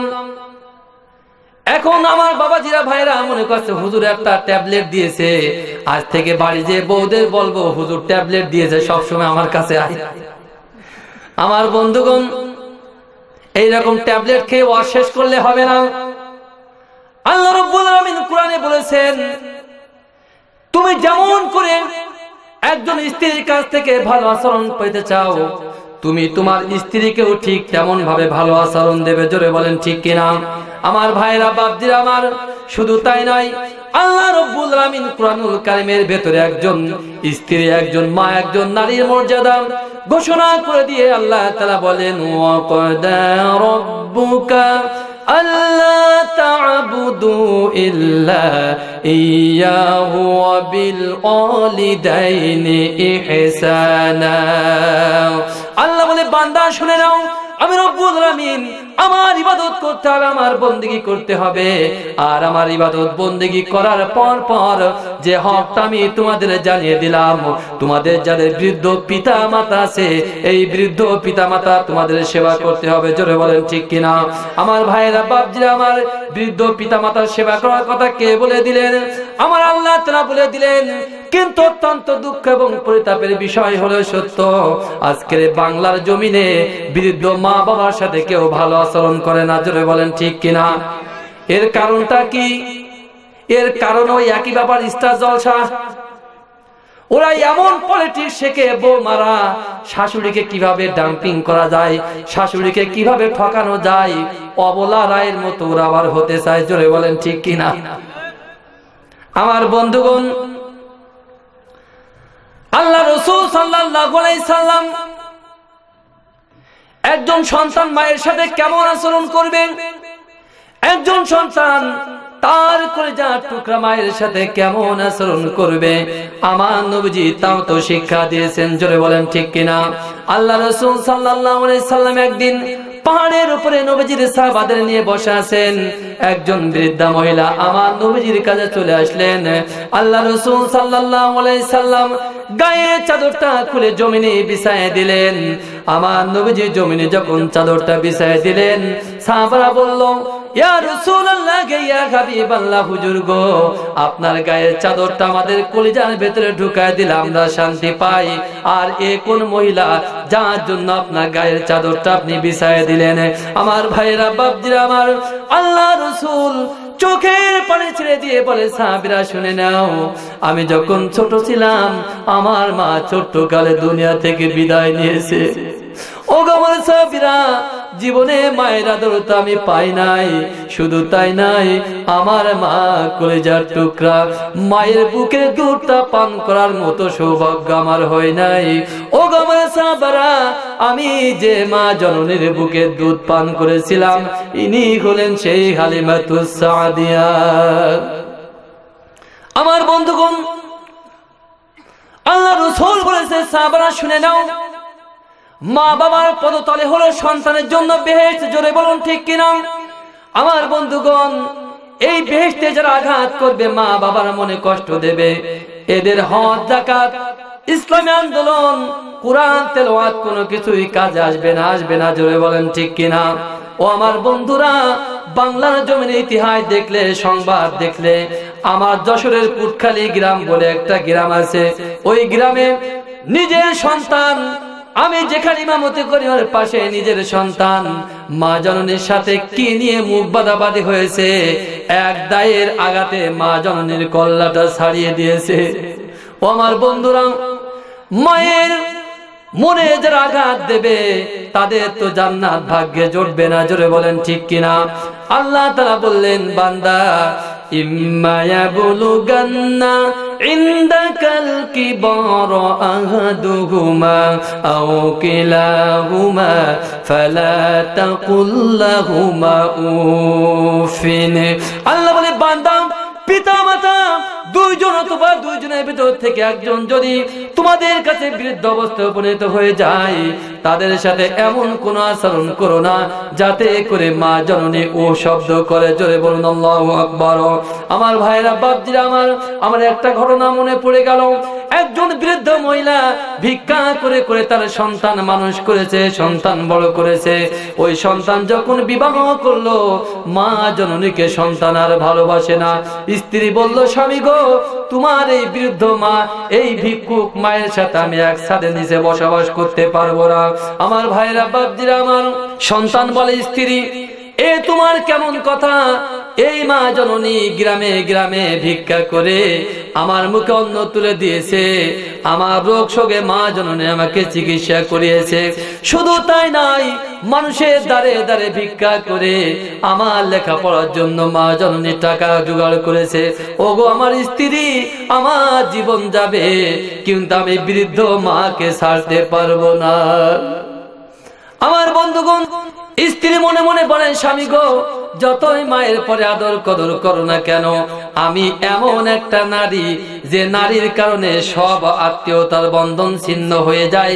আমি হলাম সেই নারী, আমি মাকে রাখতে দেব না। আমার বন্ধুগণ, ওই দম্পতির একটা সন্তান হলো। সন্তানের বয়স যখন ছয় কিংবা সাত বছর হয়ে গেল, ওই সময় একদিন ওই দম্পতি স্ত্রী বলল, স্বামী গো, তুমি যদি তোমার মাকে নিয়ে ঘরে বাস করতে চাও, থাকো। কিন্তু আমি আমার সন্তান নিয়ে বাবার বাড়ি চলে যেতে চাই। স্বামী বলে, ওগো স্ত্রী কারণটা কি? আমাকে আমার কি অপরাধ? অপরাধের কারণে আমার ছেড়ে চলে যাবে। ওই স্ত্রী বলে, স্বামী গো, তোমার মার প্রত্যেক দিনেই এইরকম কথাবার্তা এত কটু কথা আমার পছন্দ হয় না। শুধু তাই নয়, আমার সন্তানটা তোমার মা দেখতে পায় না। ওগো, আমার স্বামী, একটু তাকে দেখো। সারাটা দিন সন্তানটা ঘুরে ঘুরে বেড়ায়। তোমার মা কোনোদিন সন্তানের গায়ে একটু হাত দেয় না। আমার ভাইয়েরা বাপজিরা আমার সন্তানের কথা যখন বলে বাবার মনে একটু আঘাত লাগে কিনা বলেন? আমার বন্ধুগণ, এইভাবে যখন স্বামীর কান যখন এভাবে বারবার কানে, কটুক্তি কথামূলক যখন স্বামীর কানে দিয়ে দেয়, ওই দিন ছেলেটা রাগ হয়ে গেছে। গভীর রাত রাত বারোটার দিকে মা জননী দরজায় কড়া নাড়ে। মা জননী বলে, কে? সন্তান বলে, মাগো, তাড়াতাড়ি দরজাটা খোলো, তোমার সাথে জরুরি কথা আছে। সন্তান যখন জরুরি কথার কথা বলে, মা জননী দরজাটা খুলে দেয়। মা জননী দরজা যখন খুলে দিল, বৃদ্ধ মানুষ জীর্ণ শীর্ণ দেহ হয়ে গেছে। ভালো হাঁটতে পারে না খাওয়া দাওয়া তো ভালো হয় না, তার কারণ বিটার বউ ভালোভাবে শাশুড়িকে খেতে দেয় না। এবার মা যখন দরজা খুলে দিল সন্তান মা জননীর গলা ধাক্কা দিয়ে ঘর থেকে ধাক্কা মেরে বের করে দিল। এত জোরে ধাক্কা দিল। ধাক্কা দেওয়ার সাথে সাথে মা জননী জমিনে পড়ে গেল। শুধু তাই নয়, এক ধাক্কা দেওয়ার সাথে সাথে মা জননীর কপাল কানায়, ইটের এক কানায় লেগে গেল। ইটের কানায় লাগার সাথে সাথে মা জননীর কপাল দিয়ে ঝরঝর করে রক্ত পড়ে। আমার ভাইরা বৃদ্ধ মানুষ সন্তান বলে, ওরে মা, তোকে আমি এত ভক্তি করি, আর আমার সন্তানটা তুই দেখতে পারিস না। আজ থেকে বলে দিলাম, আমার ভিটে কোনোদিন তুই আর পা দিবি না। বৃদ্ধ মায়ের রক্তাক্ত করে দিল। মা জননী চোখের পানি ফেলে কাঁদতে কাঁদতে বলে, সন্তান দে কত কষ্ট করে তোকে গর্বে ধারণ করেছি। এমন দিন চলে গেছে, তোর বাবা যখন দুনিয়া থেকে বিদায় নিয়েছে, বাড়িতে খাদ্যের কিছু নাই, সারাটা দিন ভিক্ষা করতে গিয়েছি। এক মোটা খাদ্য, এক মোটা ভাত আমাকে দিয়েছে। ওই ভাতটা আমি মুখে দেই নাই, তোর মহাব্বতে ভাতটা এনে তোর মুখে তুলে দিয়েছি। আর এই ভাত মুখে তুলে দেওয়ার কারণে তার প্রতিদান হিসেবে তুই আমার কপাল দিয়ে রক্ত ঝরালি। আমার ভাইরা বাপজি আমার বৃদ্ধা মা বাড়ি ছেড়ে চলে যাই। পাশের গ্রামে একজন গরিব একজন গেরেস্তের বাড়িতে আশ্রয় নিয়ে যায়। আমার বন্ধুগণ, এরপরে দুই বছর অতিবাহিত হয়ে গেল। বৃদ্ধা মহিলা ওই বাড়িতে আশ্রয় গ্রহণ করে, ভিক্ষা করে করে জীবিকা নির্বাহ করে। দুই বছর পার হয়ে গেল। একদিন সন্তান গভীর রাত রাত বারোটা একটার দিকে বাড়িতে এসেছে। বাড়িতে এসে দেখে সামনে তার স্ত্রী ভাত নাই। তার সন্তানটা কোলে করে নিয়ে বারবার সন্তানটা কান্নাকাটি করে। আর স্ত্রী বারবার বলে, বাবা গো কেদনে একটু, চুপ করো। আমার ভাইরা বাপজিরা আমার। এবার ছেলে তার স্বামী বাড়িতে এসে স্ত্রীকে বলে, স্ত্রী গো, এখনও ভাত খাও নাই কেন? ভাতগুলো এখনও টেবিলে কেন পড়ে আছে? ভাত কেন খাও নাই? স্ত্রী বলে, স্বামী গো সন্তানের মা তো হও নাই, সন্তানের মহাব্বত সন্তানের জ্বালা বুঝবে কি করে? ও আমার স্বামী, আমার কলিজার টুকরা সন্তানের জ্বর এসেছে। সারাদিন সন্তান কোনো কিছু খাই নাই। আমি মা জননে কীভাবে খাদ্য মুখে দেব? আমার ভাইয়েরা, বাপজিরা আমার, এই কথা যখন স্ত্রীর মুখ থেকে শুনেছে, সন্তান চোখের পানি আর ধরে রাখতে পারে না। সন্তান বলে স্ত্রী গো, আমার টাকা আছে, অর্থ আছে, বাড়ি আছে, ঘর আছে, গাড়ি আছে, বৃত্ত আছে, সব আছে। এত কিছু থাকার পরেও তুমি সন্তানের মায়া মহাব্বতে রাত বারোটা বেজে গেছে, ঘুমাই নাও। ঘুমাও না, এখনও ভাতও খাও নাই। ও গো আমার স্ত্রী, আর আমার মা জননী, আমার গালে যখন আহার তুলে দিয়েছে, আমার মা জননীর ঘর ছিল না, আমার মা জননীর বাড়ি ছিল না, গাড়ি ছিল না, আমার মা জননীর খাদ্য ছিল না। ও গো আমার স্ত্রী আমার মা জননী, সারাটা দিন ভিক্ষা করে করে দুটো ভাত কোথায় অর্জন করেছে? কোথা থেকে ভাত ম্যানেজ করেছে? ওই ভাতগুলো আমার গালে তুলে দিয়েছে। আর তোমার কথা শুনে আমার গর্ভধারণী মায়ের কপাল আমি ফাটিয়ে দিয়েছি। আমার বন্ধুগণ, স্বামী বাড়ি থেকে বের হয়ে যায়। স্ত্রী বলে, স্বামী গো গভীর রাতে তুমি কোথায় যাও কোথায় যাও? স্বামীকে দে বলে, স্ত্রী গো, আজকের তোমার কথা আমি আর শুনব না শুনব না। আমার গর্ভধারণী মা কোথায় আছে, কীভাবে আছে? আমি আমার মায়ের কাছে যেতে চাই। আমার ভাইরা সন্তান চলে যায় পাশের গ্রামে। মা জননী বৃদ্ধ মানুষ সারাটা ভিক্ষা করে ক্লান্ত, পরিশ্রান্ত ঘুমায় আছে সন্তান দরজায় যে কড়া নাড়ে, দরজায় আঘাত দিয়ে বলে, মা গো, দরজাটা খুলে দাও। মা জননী, গভীর রাত দুইটা বছর হয়ে গেল, কেউ দরজায় কড়া নাড়ে না। আজকের দরজায় কড়া নাড়ে কেন? মা জননী বলে, বাবাকে, গভীর রাতে আমার তো কিছু নাই, আমার দরজায় কেন কড়া নাড়লে? সন্তান বলে, মা, আমি আর কেউ নয় কেউ নয়।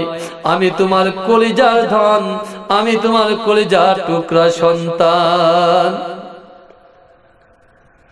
আমার বন্ধুগণ, সন্তানের কথা যখন মায়ের কানে যায় মা জননীর বুকটা দুরু দুরু করে কেঁপে ওঠে। মা জননী কেঁদে বলে, বাবা গো, আজ দুইটা বছর হয়ে গেল, এত কষ্ট করেছি। কোনদিন তোমার বাড়িতে যাই নাই, তোমার সন্তানের গায়ে আঘাত দিই নাই। ও আমার বাবা, তোমার স্ত্রীর সাথে ঝগড়াও করে নাই। বাবা, তুমি বাড়ি ফিরে যাও। এই বৃদ্ধা বয়সে তোমার হাতের মার আমি আর খাইতে পারব না।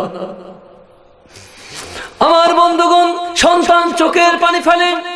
আর কেঁদে কেঁদে বলে, মা, ও আমার মা, আমি তোমার গায়ে আঘাত করতে আসি নাই। একটা জরুরি কথা বলার জন্য আসলাম। মা জননী কেঁদে বলে, বাবা, দুই বছর আগে জরুরি কথা বলেছিলে। আমার কপালটা তুমি ফাটিয়ে দিয়েছিলে, তোমার কথা মনে আছে। আমার বন্ধুগণ সন্তান চোখের পানি ফেলে কেঁদে বলে, মা গো, আমি যে অন্যায় অপরাধ করেছি, ও আমার যা টুকরা, মা। আমার সেই অপরাধের প্রার্থিত্ব করার একটু সময় সুযোগ আমার করে দাও। আমার বন্ধুগণ, সন্তানের চোখের পানি মা যদি দেখে ওই মায়ের মন কিন্তু আর ঠিক থাকে না, জোরে বলেন ঠিক কিনা? আমার বন্ধুগণ, মা জননী দরজাটা খুলে দিল। সন্তান মায়ের পাও ধরে ক্ষমা চেয়ে নিয়ে বলে, মা গো, বাড়ি চলো। যতদিন জীবন জিন্দিগি থাকবে, আর একদিনের জন্য তোমাকে ভিক্ষা করতে দেব না। আমার ভাইরা যাদের মা জননী দুনিয়ার বুকে বেঁচে আছে, মায়ের সাথে যারা খারাপ আচরণ করেছে, পায়ে ধরে বলি ভাই মায়ের কাছ থেকে ক্ষমা চেয়ে নেবেন। তার কারণ মা যদি বিদায় নিয়ে যায়, মার কখনো পাওয়া যাবে না। এই দুনিয়া থেকে মা যাদের বিদায় নিয়ে চলে গেছে, মায়ের কদর শুধু তারাই বুঝতে পারে। আমার বন্ধুগণ, মা যাদের চলে গেছে, গভীর রাতে মায়ের কথা যখন মনে পড়ে যায়, গভীর রাতে মায়ের কথা যখন মনে পড়ে যায় বালিশ ভিজে যায়, চোখের পানিতে কপাল ভিজে যায়। কিন্তু মা জননীকে কখনো পাওয়া যাবে না।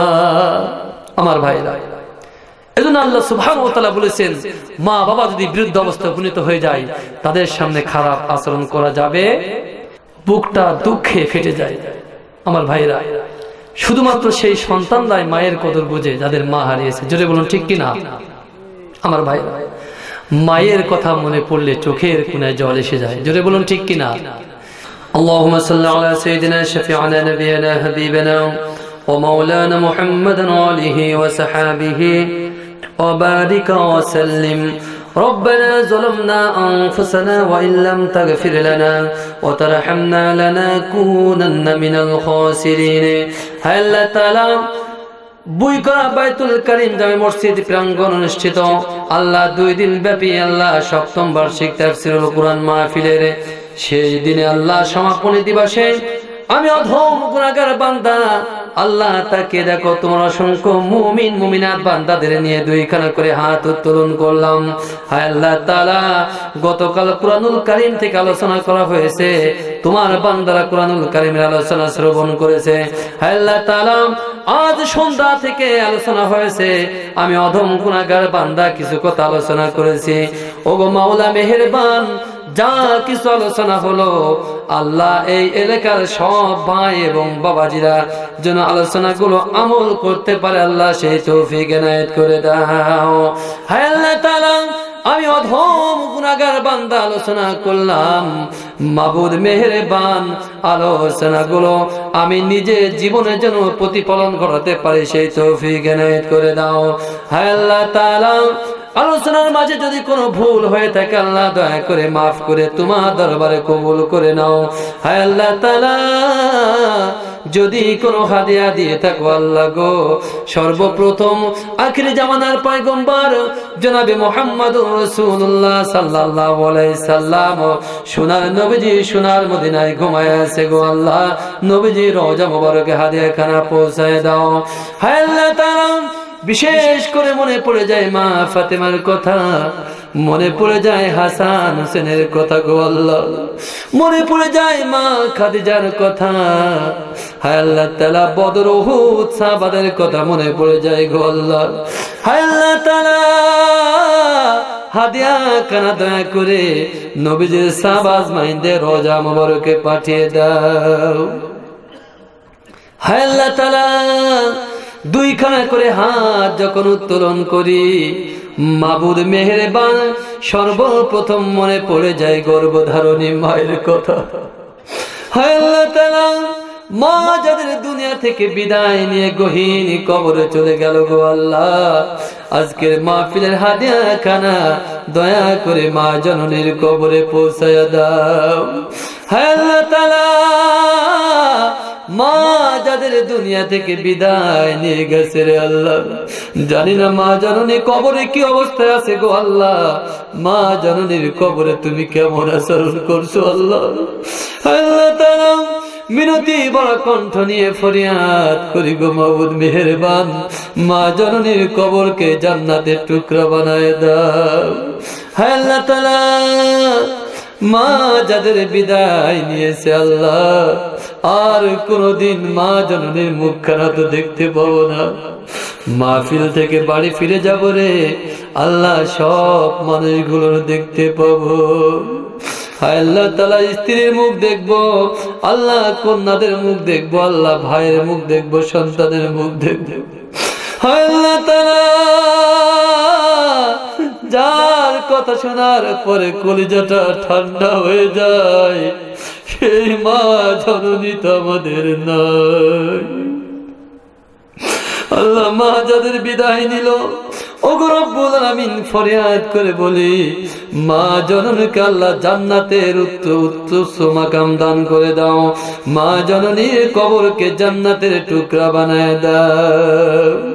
আল্লাহ তালা আব্বা জান যাদের বিদায় নিয়ে চলে গেছে রে আল্লাহ।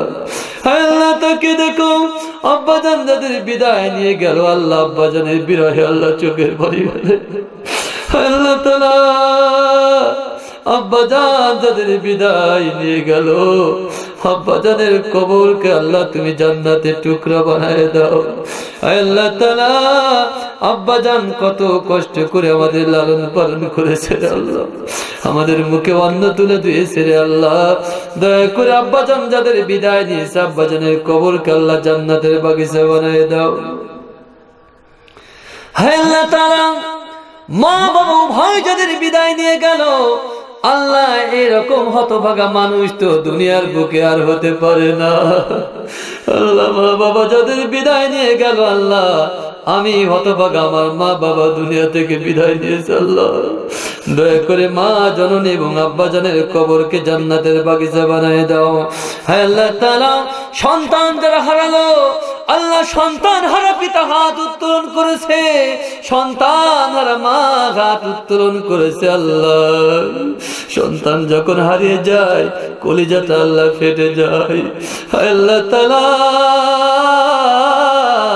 ওই সন্তানকে আল্লাহ তুমি কবর জগতে জান্নাতি মানুষ হিসেবে কবুল করে নাও। হ্যাঁ আল্লাহ তালা শ্বশুর, শাশুড়ি আত্মীয় স্বজন আল্লাহ যারা হারালো খালা ফুবু নানা, আল্লাহ, যে যে, যেখানে যেরকম আত্মীয় স্বজন হারালাম, আল্লাহ প্রত্যেক আত্মীয় স্বজনের কবরকে আল্লাহ জান্নাতের বাগিচা বানায় দাও। আল্লাহ তালা এই মাহফিল যারা আয়োজন করল আল্লাহ তালা মসজিদ, কমিটি, যুব কমিটি সহ, রব্বুল আলমিন যারা আয়োজন করল রে রব্বুল আলমিন, কেয়ামতের কঠিন মুসিবতের দিন আল্লাহ সূর্য যখন বারোটা মুখ করে মাথার কাছে আসবে রে আল্লাহ। আল্লাহ যেদিন কেয়ামতের ময়দানে মানুষগুলোর আল্লাহ পানি দাও রে, পানি দাও বলে চিৎকার করবে। আল্লাহ তারা মাথার মগজগুলো আল্লাহ তকবক করে ফুটে আল্লাহ দুই দিক দিয়ে গড়িয়ে পড়বে। আল্লাহ তারা ওই কঠিন মুহূর্তে আল্লাহ এই মাহফিল আমাদের সকলের জন্য নাজাতের উসিলা হিসেবে কবুল করে নাও। আল্লাহ তারা তোমার ঘরে যারা টাকা দান করল, আল্লাহ দানকে কবুল করে নাও। দানের উসিলা করে আল্লাহ তুমি তাদেরকে জান্নাতি মানুষ হিসেবে কবুল করে নাও। হায় আল্লাহ তালা আলী হোসেন আল্লাহ, মুর্শিদের দাতা সদস্য, আল্লাহ বাবু ভাইয়ের স্ত্রী আজিজ ভাইয়ের মা আব্দুর রাজ্জাক সাহেব আল্লাহ সাবেক মসজিদ আল্লাহ জমির ভাইয়ের মা দুনিয়া থেকে যারা বিদায় নিয়ে গেল, আল্লাহ প্রত্যেকের কবরকে জান্নাতের বাগিচা বানিয়ে দাও। আল্লাহ তালা আল্লাহ মোহাম্মদ হাতেম আলী ফকির আল্লাহ মোহাম্মদ দলিল উদ্দিন মোল্লা আল্লাহ মুস্তফা, অনেক দিন ধরে অসুস্থ আছে, আল্লাহ দয়া করে প্রত্যেকে শিফাই কামিলা আজরা দান করে দাও। আল্লাহ জিয়া বক্স, আল্লাহ বর্তমান আল্লাহ মসজিদের খাদেম, আল্লাহ দয়া করে তুমি তাকে সুস্থতা দান করে দাও। হায় আল্লাহ তালা তাকে দেখো, আল্লাহ তোমার মুমিন মুত্তাকি বান্দা আল্লাহ তার হাত উত্তোলন করেছে গো আল্লাহ। আল্লাহ, আমরা তো গুনাহ করে করে জিন্দেগিটারে শেষ করে ফেলালাম আল্লাহ। আমাদের জিন্দগির গুনাহগুলো মাফ করে দাও। হায় আল্লাহ তাআলা, আমাদেরকে কবুল করে নাও। আল্লাহ।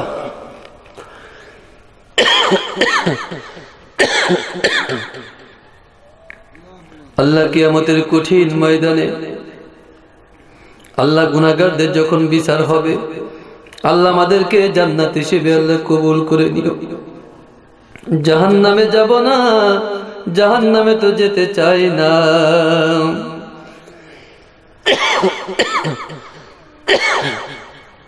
ওগো মেহেরবান, আল্লাহ আমরা তো জাহান নামে যেতে চাই না, দয়া করে জান্নাতি মানুষ বানায় দাও। হায় আল্লাহ তালা মা বোনদের ভেতরে যারা হাত উত্তোলন করল আল্লাহ, অনেকে টাকা দান করেছে, কি নিয়ে নিয়ে দান করেছে আল্লাহ, তুমি তো ভালো জানো। দয়া করে, মায়া করে আল্লাহ, মা জননীদের মনের আশা পূরণ করে নাও। হায় মা জননী যাদের সন্তান হয় না, দয়া করে আল্লাহ সন্তানের ব্যবস্থা করে দাও। যাদের পুত্র সন্তান হয় না ও গো মাবুদ মেহেরবান, দয়া করে পুত্র সন্তানের ব্যবস্থা করে দাও। ও গো মেহেরবান, যারা মাইকের ব্যবস্থা করেছে, আল্লাহ ডেকোরেটর, আল্লাহ প্রত্যেকের আল্লাহ তুমি কবুল করে নাও। হ্যাঁ আল্লাহ ইসলামিক মিডিয়া সেন্টার আমার ভাই জানকে আল্লাহ তুমি কবুল করে নাও। হ্যাঁ আল্লাহ খাস করে মিনতি করি মাহবুদ গো। মাহফিলে যারা টাকা দিল, আল্লাহ যারা শ্রম দিল, আল্লাহ তারা যারা চিন্তা ফিকির করল, আল্লাহ প্রত্যেকের চিন্তা ফিকিরকে কবুল করে নাও। আল্লাহ তাআলা আমার কুলজার টুকরা মা আল্লাহ শফিক ভাই হ্যাঁ আল্লাহ তাআলা শফিক ভাইকে দিনের খাদেম হিসেবে কবুল করে নাও। হ্যাঁ রব্বুল আলামিন। তোমার কাছে মিনতি গো মাওলা। আমরা যারা হাত উত্তোলন করলাম, আমাদের প্রত্যেককে জান্নাতি বান্দা হিসেবে কবুল করে নাও। রব্বানা رب ارحمهما كما ربياني صغيرا.